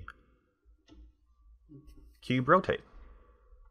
And so in order to do that, we're going to need some, we're going to need to use some code, but a lot of it is drag and drop. Uh, but before that, what we're actually going to do is create the actual user interface for it. And so we'll create the user interface so when the user shines the phone over the screen, uh, buttons are going to pop up for you to actually uh, interact with it. And so we'll do that by first right clicking and we're going to go to UI and we're going to go to canvas. And this is the only way that you can have UI buttons in Unity is by first creating a canvas. And so we could actually close that, shrink it so we don't get confused, because I often get confused. And uh, it comes with the event system.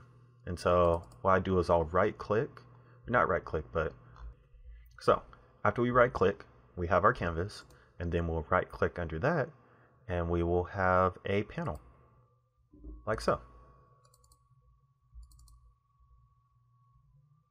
And in the canvas, we'll change the canvas to uh, scale with screen. And we'll change that to 1920 by 1080. And we'll add our gizmos back on so that we could actually see our canvas. And you'll notice we have a canvas there. And so what we can do is we can match it. So I tend to match it at about 0.5 So 0.5 right there to be safe. And so that's the height and everything. So 1920 by 1080, uh, scale with screen. So just in case you have multiple screen sizes, often I forget that. And so uh, I want to make sure that because uh, different devices have different screen sizes. And so you just want to make sure that you are able to scale with the screen. With it, we added a panel. So we'll have that panel and I will actually drop this panel down. So we'll click this uh, rect tool, the rect tool allows us to uh, do some modifications. And so I'll bring the rect tool down like so, and I will actually make the panel, we'll go over to the color section right here for the panel, go to the color, and you'll notice how there's this black bar here. That just means that all the white up into here, this is what the opacity is. So we'll actually double click that, and we'll go over here to where it says A is 100, this is the alpha. And so alpha is just the opacity. So the closer it is to zero, the more transparent it is. And you'll see it over here in the game view, uh, which is the view that we see on our screen uh, on our phone. And I will actually turn it to 255. You don't want it to turn it to 100 because it's not, uh, the values don't go up to 100, they go up to 255. And so if you go to 100, it still has some transparency. So I'll go all the way to 255 and I will actually give it a grayish color. Yeah, a grayish color will work. And so after that, we have our lovely little panel right here. And so again, with the panel, I will actually press Shift and Alt, and this will allow me to sort of anchor it down at the bottom.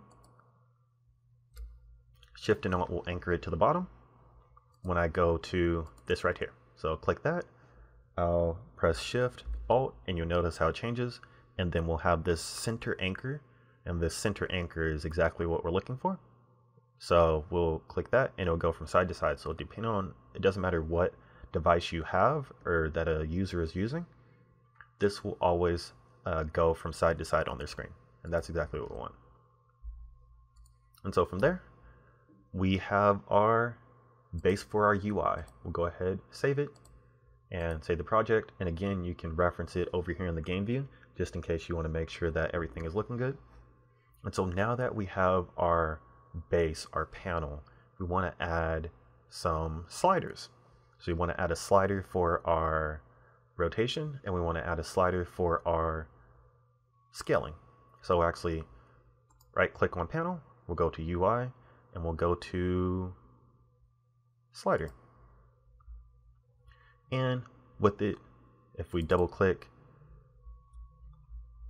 uh, and notice uh, if I double click on something, it will allow me to zoom in on it. And so when I double click, I see that's very small.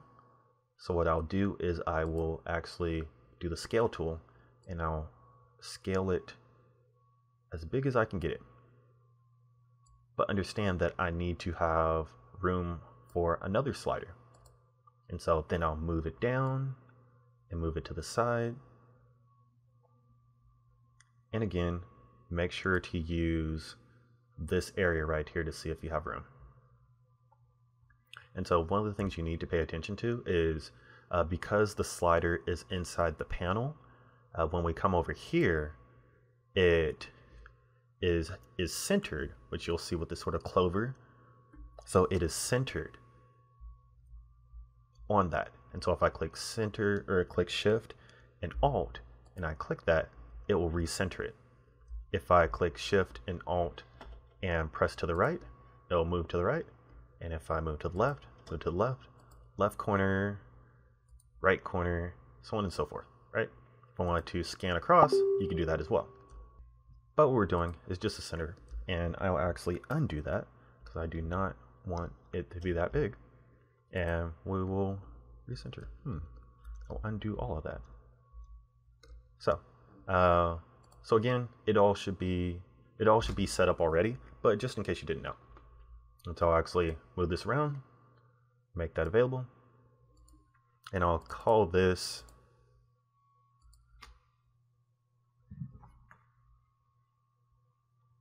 I'll call this scale slider.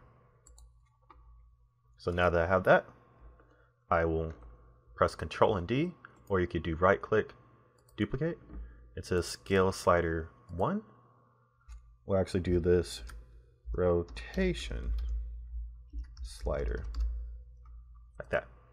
Now that we have a rotation slider, we can actually lift this up. Or better yet, because it's at the bottom, I will actually lift the scale slider up and that one will be the one at the one at the top. Last thing that we can do is we can click scale slider and we're going to right click, go to UI, we'll go to text, and now we have text. So we can move the text over. We could go into the text settings in the inspector I'd like to have the text go to the side. So it'll be right aligned and it'll be in the center. And then I will use the rect tool to sort of butt it up against the edge of the slider. Make it a little bit smaller. Increase the text size a little bit. And again, keep it at rich text. And also best fit. I guess best fit always works. And then we're going to change this to scale. So I have my scale. And then I'll actually duplicate this. Drop that right there. You'll notice how the scale is still there. It doesn't actually move up against the side of this. So what we'll do is we'll just click zero and it drops it down. So we don't have to change anything else because we already uh, duplicated it, but we could click rotate and we could label it rotate. And so now we have scale and rotate right there. And so the rotation slider, that text is for rotate, and then for the scale slider, we have scale slider. And so all this stuff should be aligned. And this is our user interface. So again, we'll go ahead, save it. And for the most part, this is our user interface.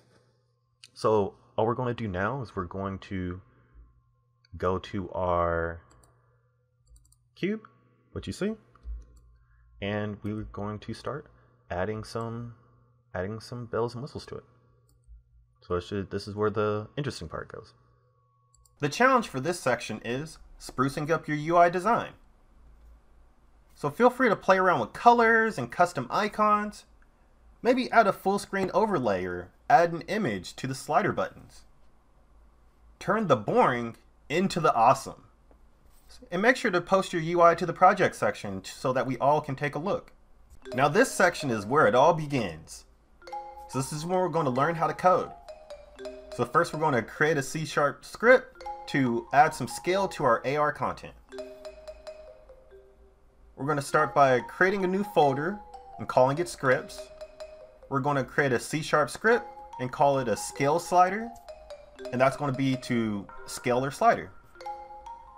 We're going to open the input script. We're going to open the script to input the code.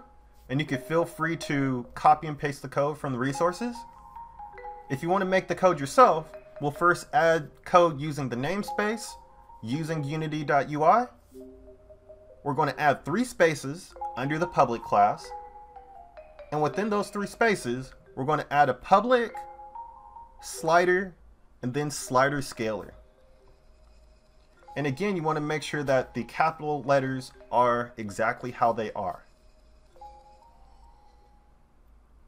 And then we're going to add code under the void update section and it's just going to be a transform.local scale and then it's going to equal new vector 3 and then we're going to add slider scale values for all three of those. Last but not least, we're just going to save our code. Okay, so in this video, I will be talking about how to make the scale and rotate actually work on your cube. First, we need to do the scripts so that we actually have those functions. So what we see is that we're in our game view. And so all we're going to do is first, we need to make sure that we stay organized. So make sure that you click assets so that you see uh, all the folders for assets. And then you're going to click create, right click, you're going to click right click, create, and folder. After you do that, we'll just name it scripts. Technically, you can name it anything you want, but I like to name it scripts so that I know that there's actually scripts in it. And so we'll go ahead, double click that. And then from there, we're going to right click, go to create. And we're going to go down to create our C sharp script. So the C with the pound sign and then script, that's C sharp. And we'll call this scale slider. And so when you're naming your scripts, you always want to make sure it's one word. And what I like to do is I'll have the first letter of each word capitalized. And if I do that, then I'm able to uh, distinguish which words are in it. Uh, but you want to make sure that's one word. And again, you want to make sure that you name it right the first time. Because if you don't, you're going to have to redo it because it messes up the script. And so we'll call it slider script and we'll name it right the first time. And then we will double click it. And now that we double clicked it, we open it up. And I'm using Visual Studio Code. You might be using regular Visual Studio. I wouldn't worry too much about it. They all do the same thing. Uh, I just like this one better because it, it has a cool interface and cool colors. And so one of the things that we're going to do is we're going to look at our namespace. So in our namespaces, which is this area right here, we want to add a new namespace. And so what we're going to do is we're going to type in using Unity engine and then we'll do period we'll do UI and then we're going to have a semicolon and so what this means is that because we're using the slider UI if you if you recall we did right click and we went to UI we did slider we actually need to use the Unity UI uh, essentially library that uh, is in Unity. And so in order to do that, you actually have to call upon it specifically with the namespace. And so all this does is say that, okay, uh, with this script, we're probably going to be using the UI elements in Unity. Because there's like hundreds of different things. And in order for you to, in order for Unity to process that, you have to uh, call it directly. So from there, you'll notice how it says public class, and this is the exact name as the script that we have. And so if you misspelled it, and then this would be a different name, and this would be a different name. And you don't want that because it's going to mess it up. And we could go through, um, I think I have other videos talking about how C Sharp is structured and laid out. We're not going to go over that because we don't really need to know uh, because we're only doing one line of code for this. And that's the best part about it is that it's only one line of code and it gives us a, a lot of great functionality. And so with that, we are using the scale slider and we're going to do that in the void update. The reason we're doing the void update is because it refreshes once per frame. And so normally this is running at about 24 to 30 frames per second, maybe 60 frames per second. Probably doesn't need to, but maybe 60 frames per second. So every frame this is going to update. Whereas in the start, it only updates once and it updates at the beginning. And so if we put it in the start, we would lose all our functionality. Because it's in the update, it's constantly calling for this uh, to see if there were any updates. And so that's how we're able to see things in real time uh, because we are adding a value and then that value changes. And so with it, we're going to go up to the top I like to do three plus signs. Again, we're going to go up to the top, right under public class, and I like to press enter three times so that I have a little bit of space at the top and the bottom. And what we'll add is public, and then we'll do capital S, L-I-D-E-R. Whoops, I don't want that. Slider.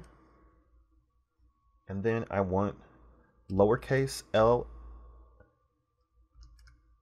I'll do lowercase s, L I D E R, and then I'll actually uppercase the next S, A L E. And then I'll do a semicolon. And again, you want to make sure that every line of code that you do, you want to make sure to have a semicolon on it because that tells when to stop and that allows you to not have errors in your code because that often happens, especially for me. And so we're using public because we want to be able to access this as a public variable.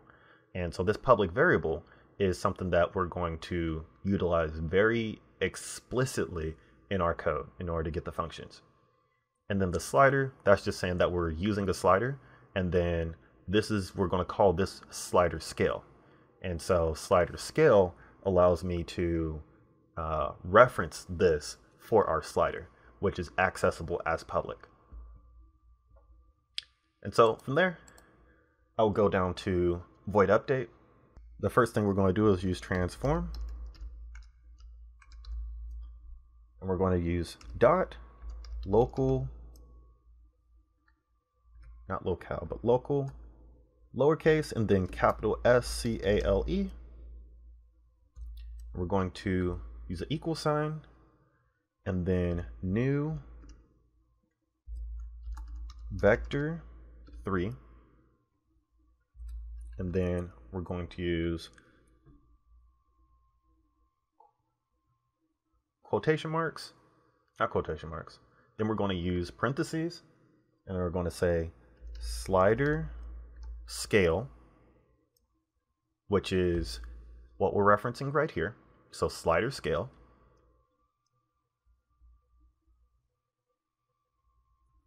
Then dot value, which is the value that we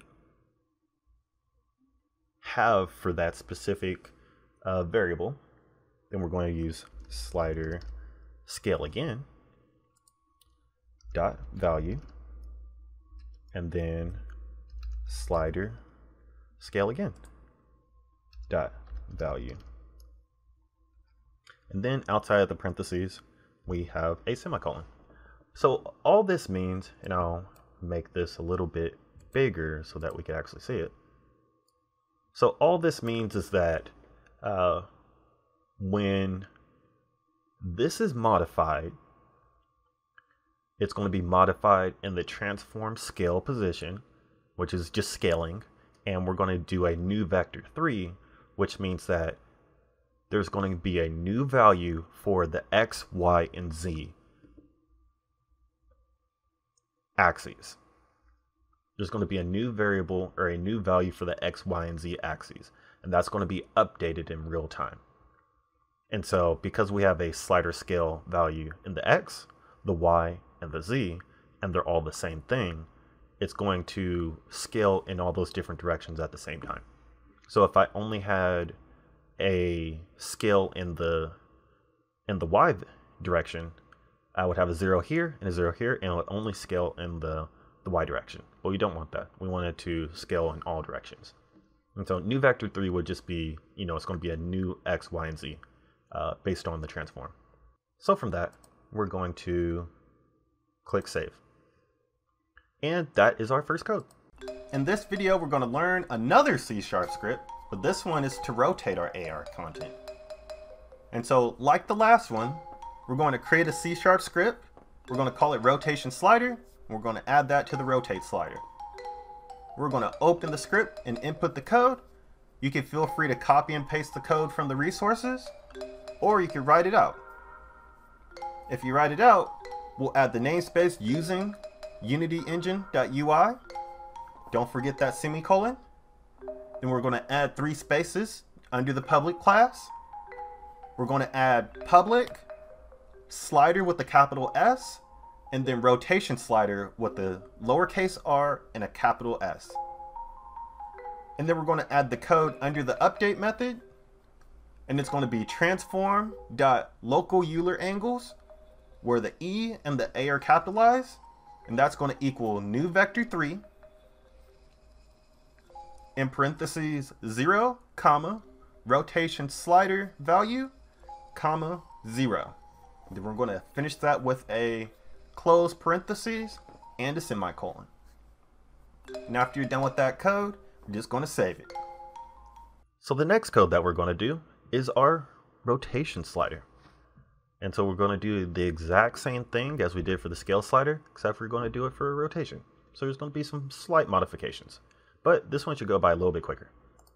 So again, we will right click, create, new C Sharp script, and we'll go rotation slider.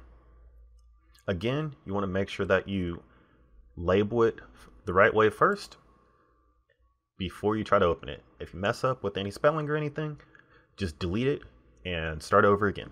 Again, we're going to double click and we're going to open up our script in Visual Studio. So much like the scale slider script, we're going to go using Unity engine dot UI and semicolon. Boom. And then we're going to go down under public.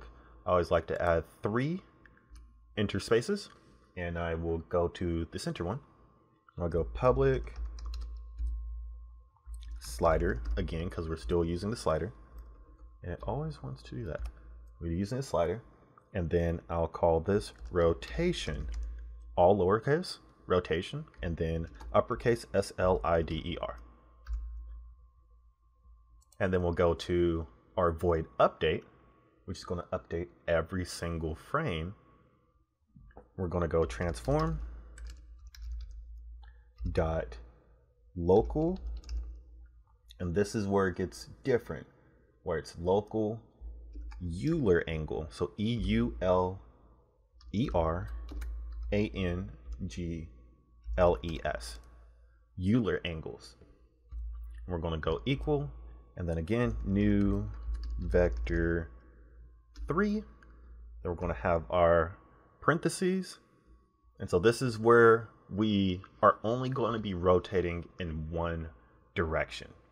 And so like the scale, I mentioned that when we're scaling, we can scale in all different directions, but when we're scaling, we want to make sure that all the directions are scaling at the same time so that we have a good proportion in our scaling. But with this one, we only want to rotate around one axis, and that one axis is the vertical axis.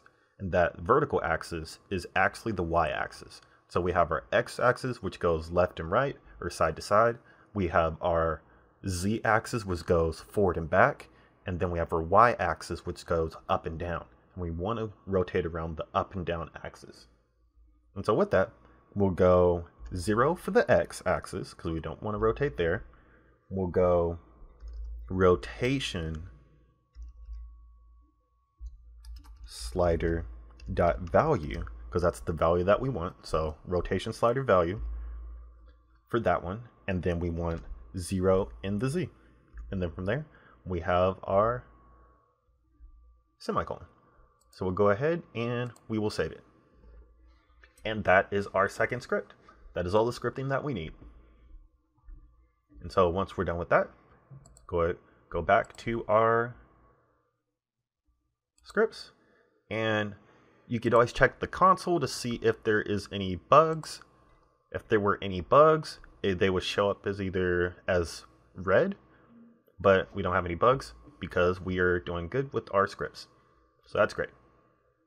And so now we'll go ahead, save our project, save our project, and save. Now that we have our code, it's time to add the scripts to the sliders and test our UI. So what we're going to do is we're going to create an empty game object. We're going to set that as the container for our 3D object and our sliders. Now what we're going to do is just right click it under the image target and select create empty. We're going to name it whatever name you want. Place the cube in the empty container. Then we're going to drag the slider scripts onto the empty container in the inspector. After you do that, we'll add the scale slider and the rotation slider game objects into the reference area of those slider scripts. Then we'll make sure to change the default slider values. So for the rotation slider, make sure the minimum value is zero and the maximum value is 360 because that's for degrees. For the scale slider, the minimum value will be 0.4 and the maximum value will be 3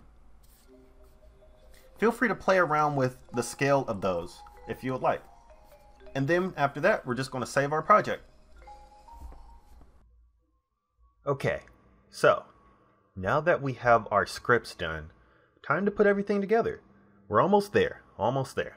And so what we're first going to do is now that we have our rotation and our slider script, we have our text, we have our slider, we will go to our image target.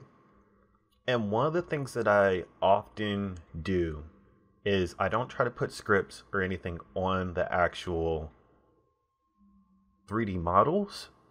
What I'll do is I'll actually create a container and I'll put the scripts on there. And by putting the scripts on the container, I'm actually able to manipulate the models a little bit better It makes things a little bit easier because when you actually have 3D models that have animation on it and all those things, it gets really dicey. And so what I'll do is I'll go right click on the image target, I'll go to create empty, and I'll just call this uh, 3D container. Just like that, 3D container. And I will put that on the 3D container. There we go. And so when we look at the inspector, we look at the cube, we'll actually do zero that out. Uh, actually, no, don't want to do that. Keep everything exactly how it is, and uh, just make sure this is zero zero, and then we will actually go and drag the rotation slider script up, add that, and then go to drag our slider script up. So you'll notice some interesting things. So our rotation slider, there it says none for the slider, and for the scale slider, it says none for the slider. those are the public variables. And so if we go back into the rotation script, because it says public here, that is why we're able to see that rotation slider. And so all we have to do is go to where a rotation slider is, which is this one. And if you turn it off and on, or I'll look back up. So if you turn it off and on, this is our rotation slider. We'll go to our 3D container. We'll just move the rotation slider, drag and drop. And now we have a rotation slider. We'll do the same thing with our scale slider.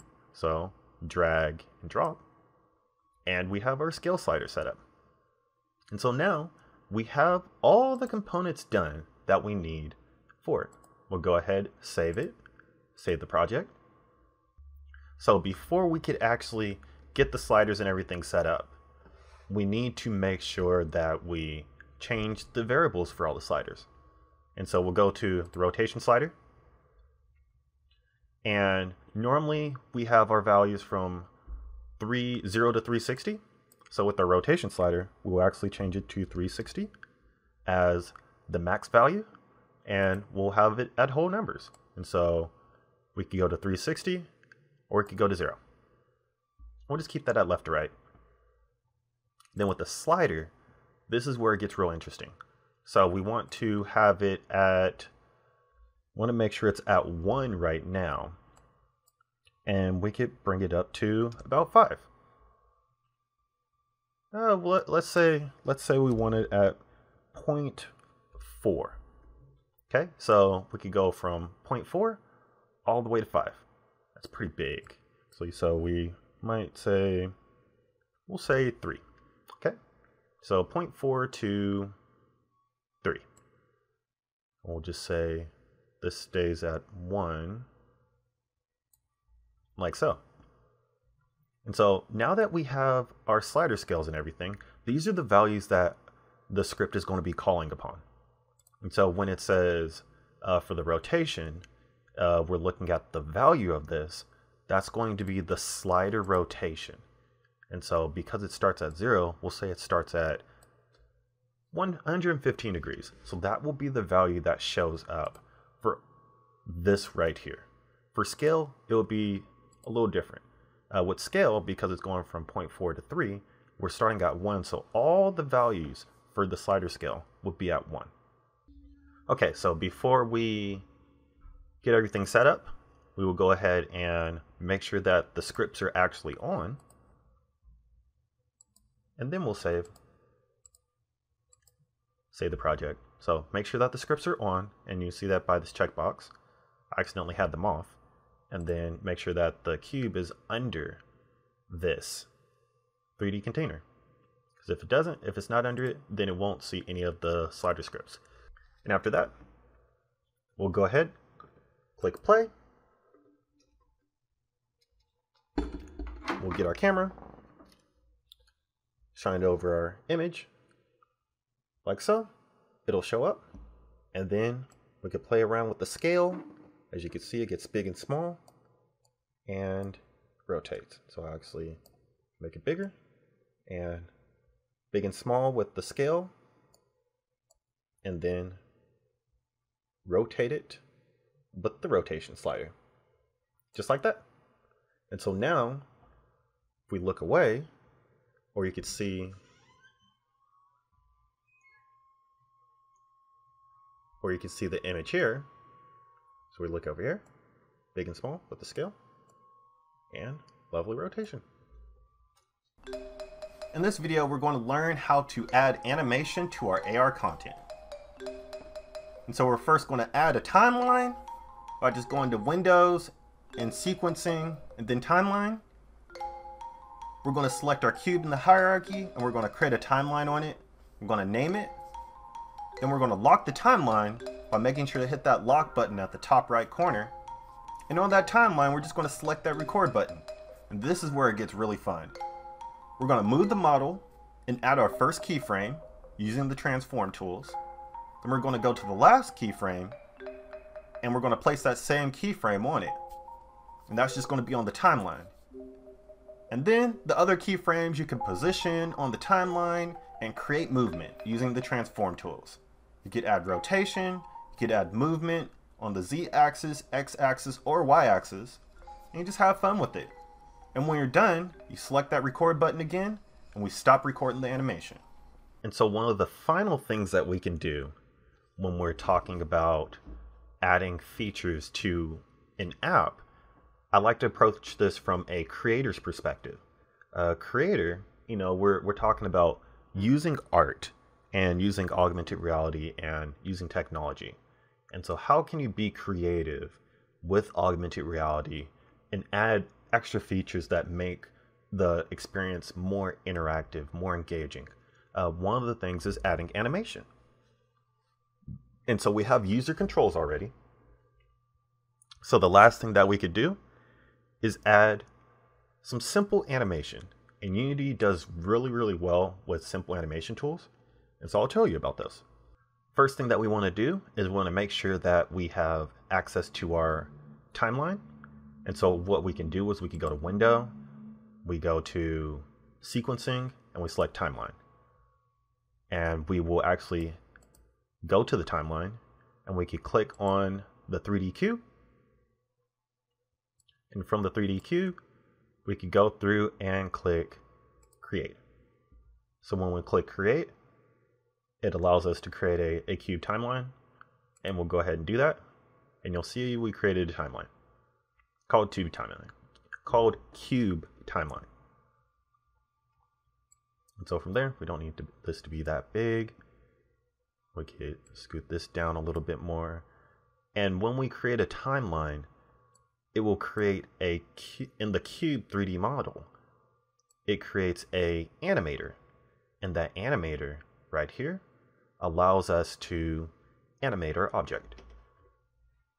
And so what I'll do is I will actually lock that. And so if we click out of it, it doesn't go away. And so from there, we want to make sure that we have. Well, I think we I think we're good right now. I think we're good. I believe we're good. So the next thing that we need to do is we need to actually animate some stuff. So I'll give myself a little bit of a little bit more wiggle room. Uh, zoom out a little bit. And so the way this works is this works on a timeline if anybody's familiar with uh, animation. And so all we will do is we have our cube selected and we have the cube animator. And so with this, uh, so the next thing that we want to do is with our cube animation track, we want to essentially start the animation first. And so this is how we're going to be recording live. So go ahead and click the record button and it will say recording. want to make sure that we have our cube here. We're going to select it. And then the first thing that we'll do is we will just put hit zero. And the first thing that we're going to do is we're going to actually do a little bit of do a little bit of motion. So we'll just move it to the side and then we will click zero just so we set an anchor point right there. And what we'll do is we'll go to about 360 frame 360 and we can add a just another, we just add another keyframe. And so what we could say is go to the side, whoops, go to 360,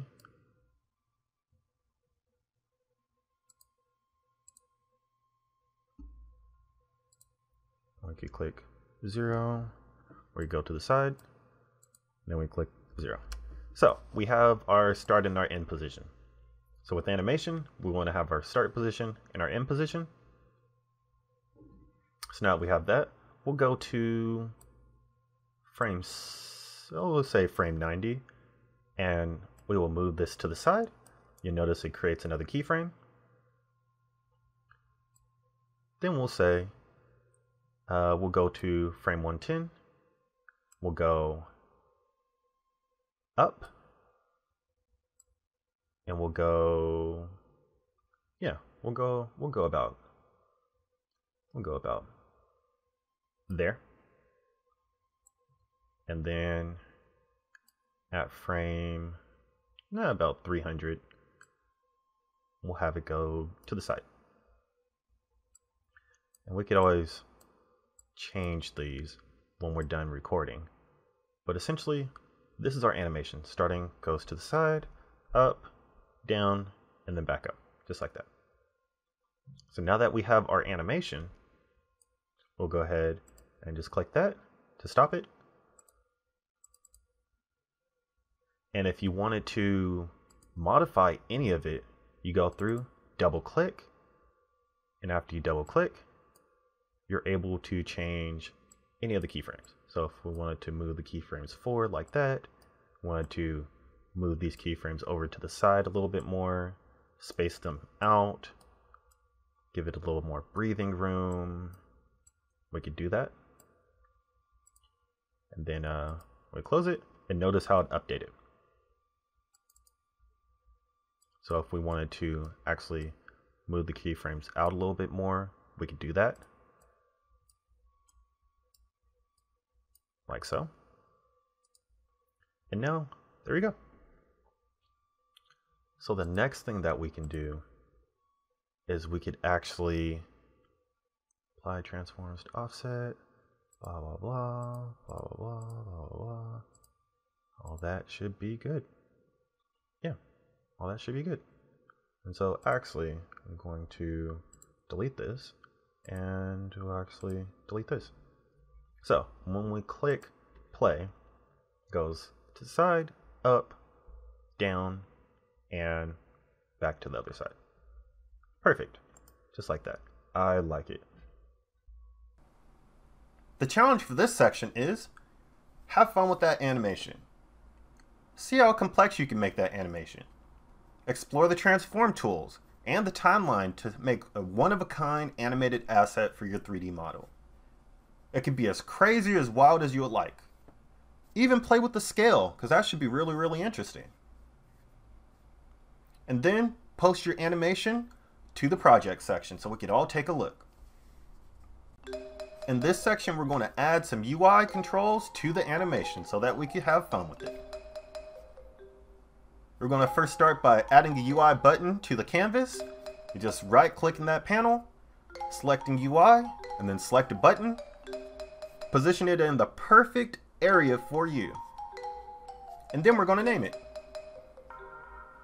Then we're going to format that button to make sure it's interactable. Because if it's not, it doesn't matter if we have a button or not if we can't use it. We're going to give it some color when it's pressed.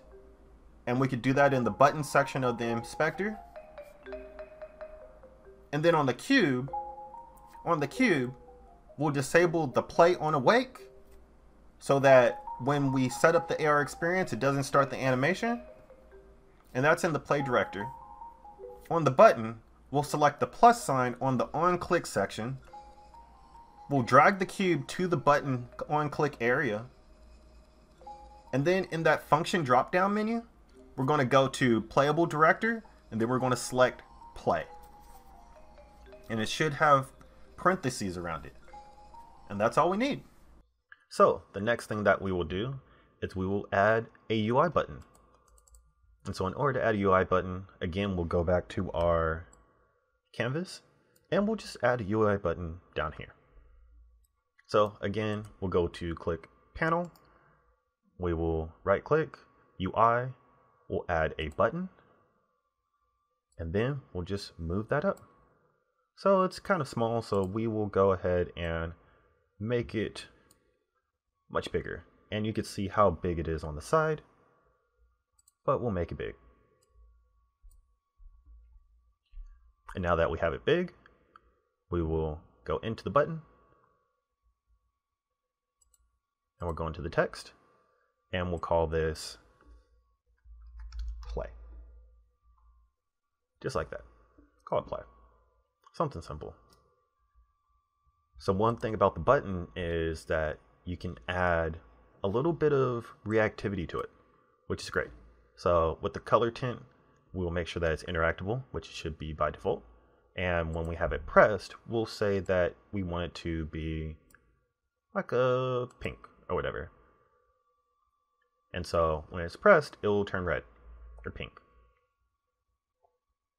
And so we'll go ahead and save it. Uh, when we click play, I'm not going to test any of the AR functions. We just want to click that it plays. And then we'll click OK from there. So now that we have that set up, now it's time to pair our cube button and our animation. So we'll need to go to cube. We'll need to say on awake, we don't want it to play. So we'll click that off. Uh, but we want it to play the timeline. And we want to press play on the timeline once. So we'll go to our button. Once we click our button, if I can lower the timeline a little bit, more room to see things. Do, do, do, do, do. There you go. Uh, so when we have our button, we'll click button, and then we'll scroll down to on click, and we'll click a plus. So with the on click, we'll take our cube, and you don't want to click it because it goes away from it, but you want to click and hold so that it holds. Don't release the hold, and we're going to just drag it over to where it says none. And so now in the no function, we could go down to animator and we could go to play. And we want to click start playback right there. Click start playback. So we'll click start playback and notice how it's pretty much play the timeline essentially. So we don't want it to play. We just want the animator to start playback. Or actually, no. So I actually made a mistake.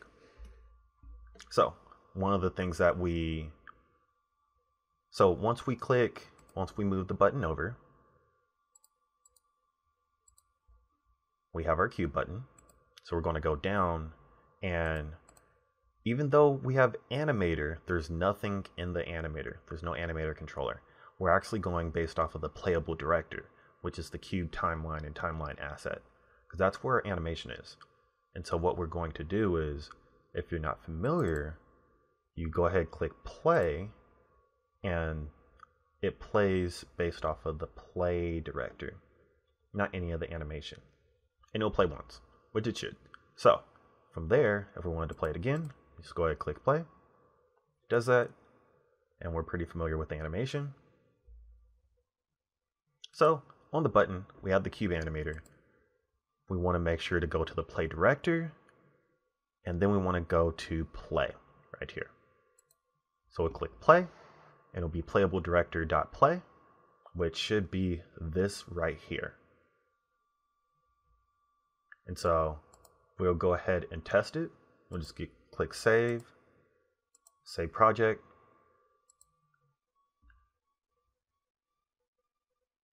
And so if we click the play button, that should play right there. It'll play once and then it'll go back.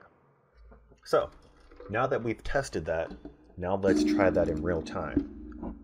So we should have it there. And then when I click play, what do you know? Goes up, down, and around. So how about we rotate it and then we click play? Oh man, look at that. So how about we scale it so we make it smaller and we click play. And then we rotate it too. So now this is ultimate interactivity.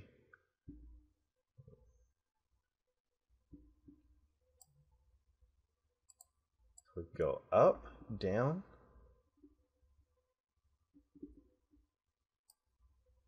And last one to play with, we'll do a little bit of scale and rotation.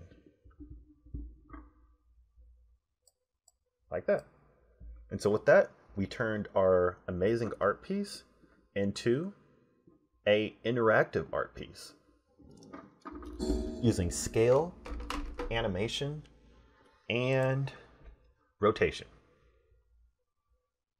Last but not least, it's been a long journey, but it's time to build that augmented reality app. What we all been waiting for. So we're going to open our build settings by just going to file and build settings. We're going to add the AR scene that we're working in to the scenes in build. We got to make sure to do that. Otherwise, if we build, we won't have our AR scene. We're going to select player settings in the bottom left hand corner. We're going to change the company name. We're going to add an app icon. You can do that if you like. Otherwise, you can have the default icon, but I kind of like my own. Then we're going to set the resolution to portrait mode. We're going to add a logo in the splash screen. And we're going to preview it to make sure it's nice. And then if you have an Android device, you want to set the minimum API to 26. And for iOS, you want to set the minimum version to 11. And that's because augmented reality on mobile devices is not supported on every device. And so there's a minimum level of device application that these phones actually support. And so 26 for an Android and 11 for iOS is the best way to go. Lastly, if you're on an Android device, make sure to set the memory to external. And then when you're ready, time to build to the device. For an Android device, you'll have an APK, and then for iOS, you build directly to the device using Xcode. And so work on your naming conventions if you like, and kind of go from there. So in this, we learned how to code a little bit, we learned a little bit of animation, we learned a little bit about the UI and user interface, we learned about drawing, we learned about how to combine all that with augmented reality, and now we'll learn how to actually make an app. So with this demo, we will be learning how to build an app with Android. And so one of the things that we need to do is first go to build settings, see which one that we're using. Again, we're using Android. One of the things that you need to do before is that you need to add the open scene. If you don't add the open scene, there won't be any scenes built and you won't see that experience. And so what we can do is we'll add open scene and you'll see it says AR drawing. And so from there, we'll go to player settings. We'll click our player settings and those will come up with the project settings that we want. And some of the things that we need to do. So for this, a default company, mine is Iltopia Studios. If you have a chance, make sure to check out Iltopia Studios if you'll like. With Iltopia Studios, I also have a specific app tons of app icons. So I'll actually just drag one into the project file. And if you remember, I need to turn that into a 2D UI. And I'll click apply. There you go. And then I'll go into 2D textures and there we go. So AR drawing app for by Iltopia Studios and then I'll go through and you could play with the presentation a little bit for this one. I want to make sure that it's a native aspect ratio and that I want it to be in portrait mode. I don't want it to be in landscape because my UI is in portrait mode. So I only want it to be in, in portrait mode. So I'll do that by resolution presentation and orientation default orientation is portrait mode. From there, I can add a splash image. And so if I wanted to have the test app icon, I can do that.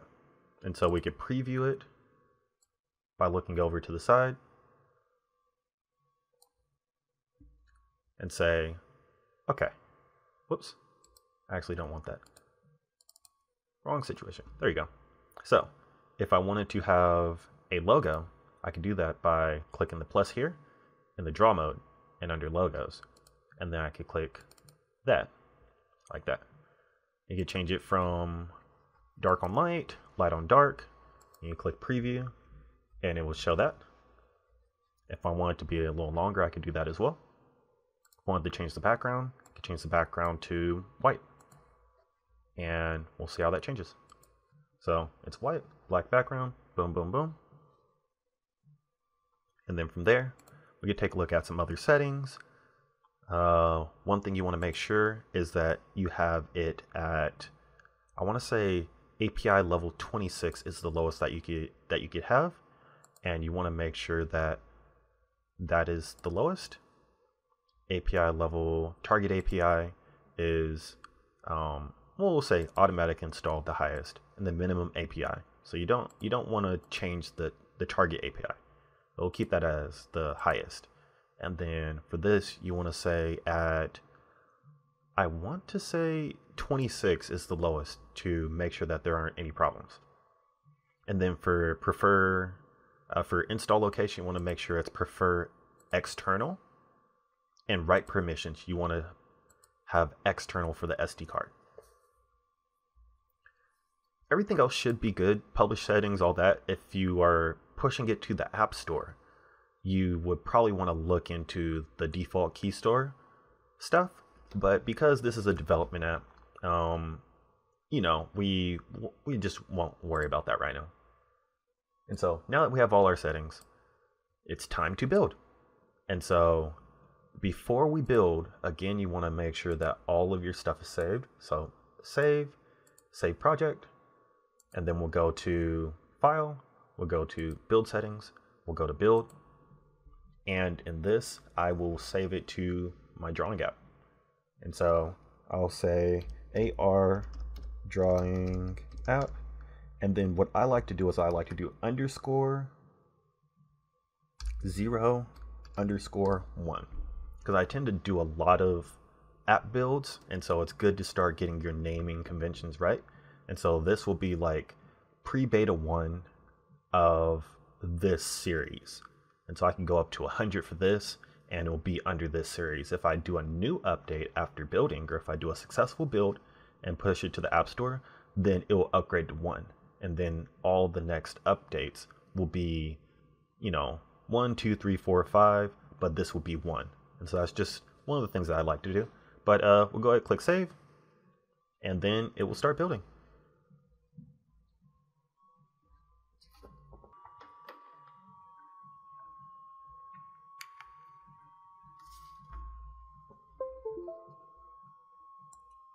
So now that we have our app, you'll notice it's right here. So we can go ahead. I like to copy, connect my phone to it, go to my SD card, and I'll just drag and drop right there. Not a problem at all. It has it right there. And so then I will disconnect my phone. So now that I have it on my phone, I'll go through, I'll click the APK, I'll click install.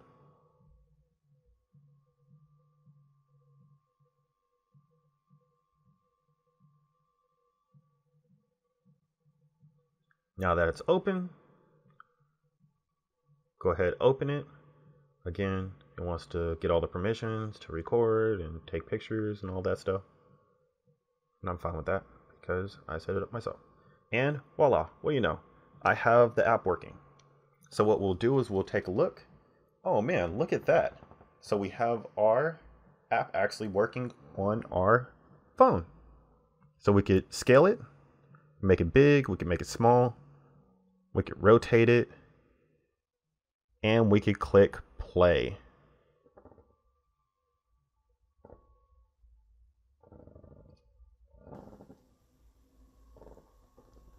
So we could click play.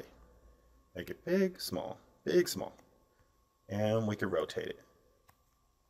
Let's try that again. Rotation, rotation, rotation, rotation. And there we go. So we went from having a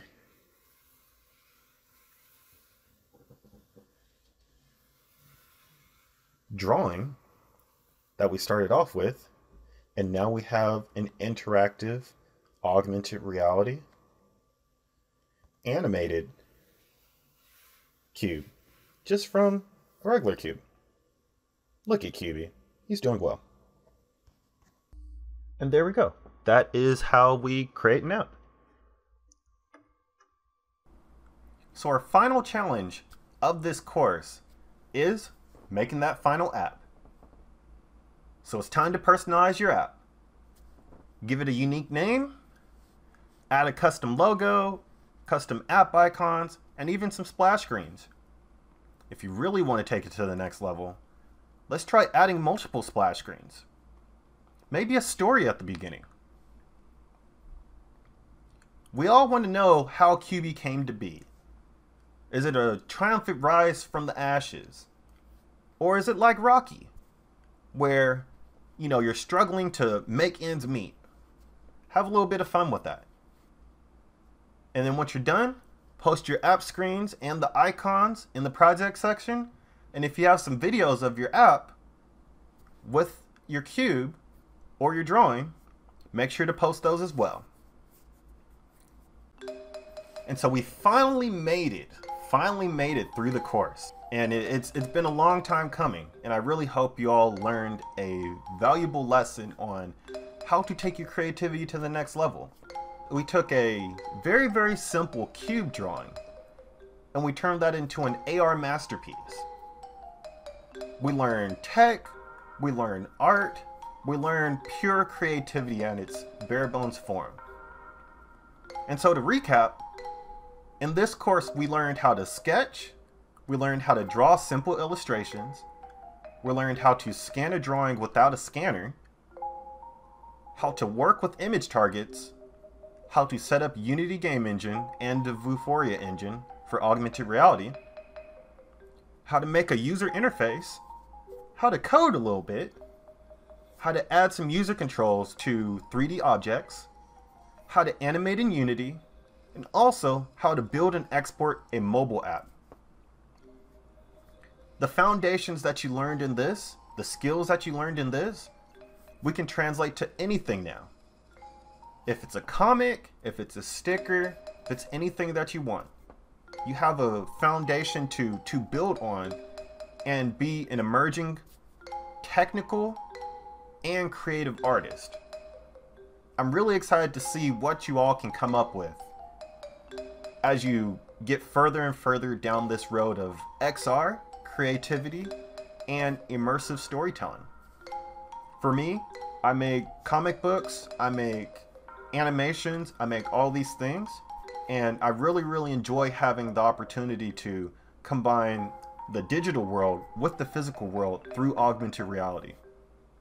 It's a wonderful opportunity to make things more immersive so that we can change the way that we interact with the world and we interact with creativity. And so feel free to follow any of my other augmented reality courses. If you are so inclined, hit me up and let me know how you like this class. Feel free to rate and review it, share it with your friends, and look out for more stuff from me. Again, my name is Steven Christian. I am a full stack AR developer, a visual storyteller, and your instructor. And I thank you for the time and hope to see you again for another wonderful tutorial series.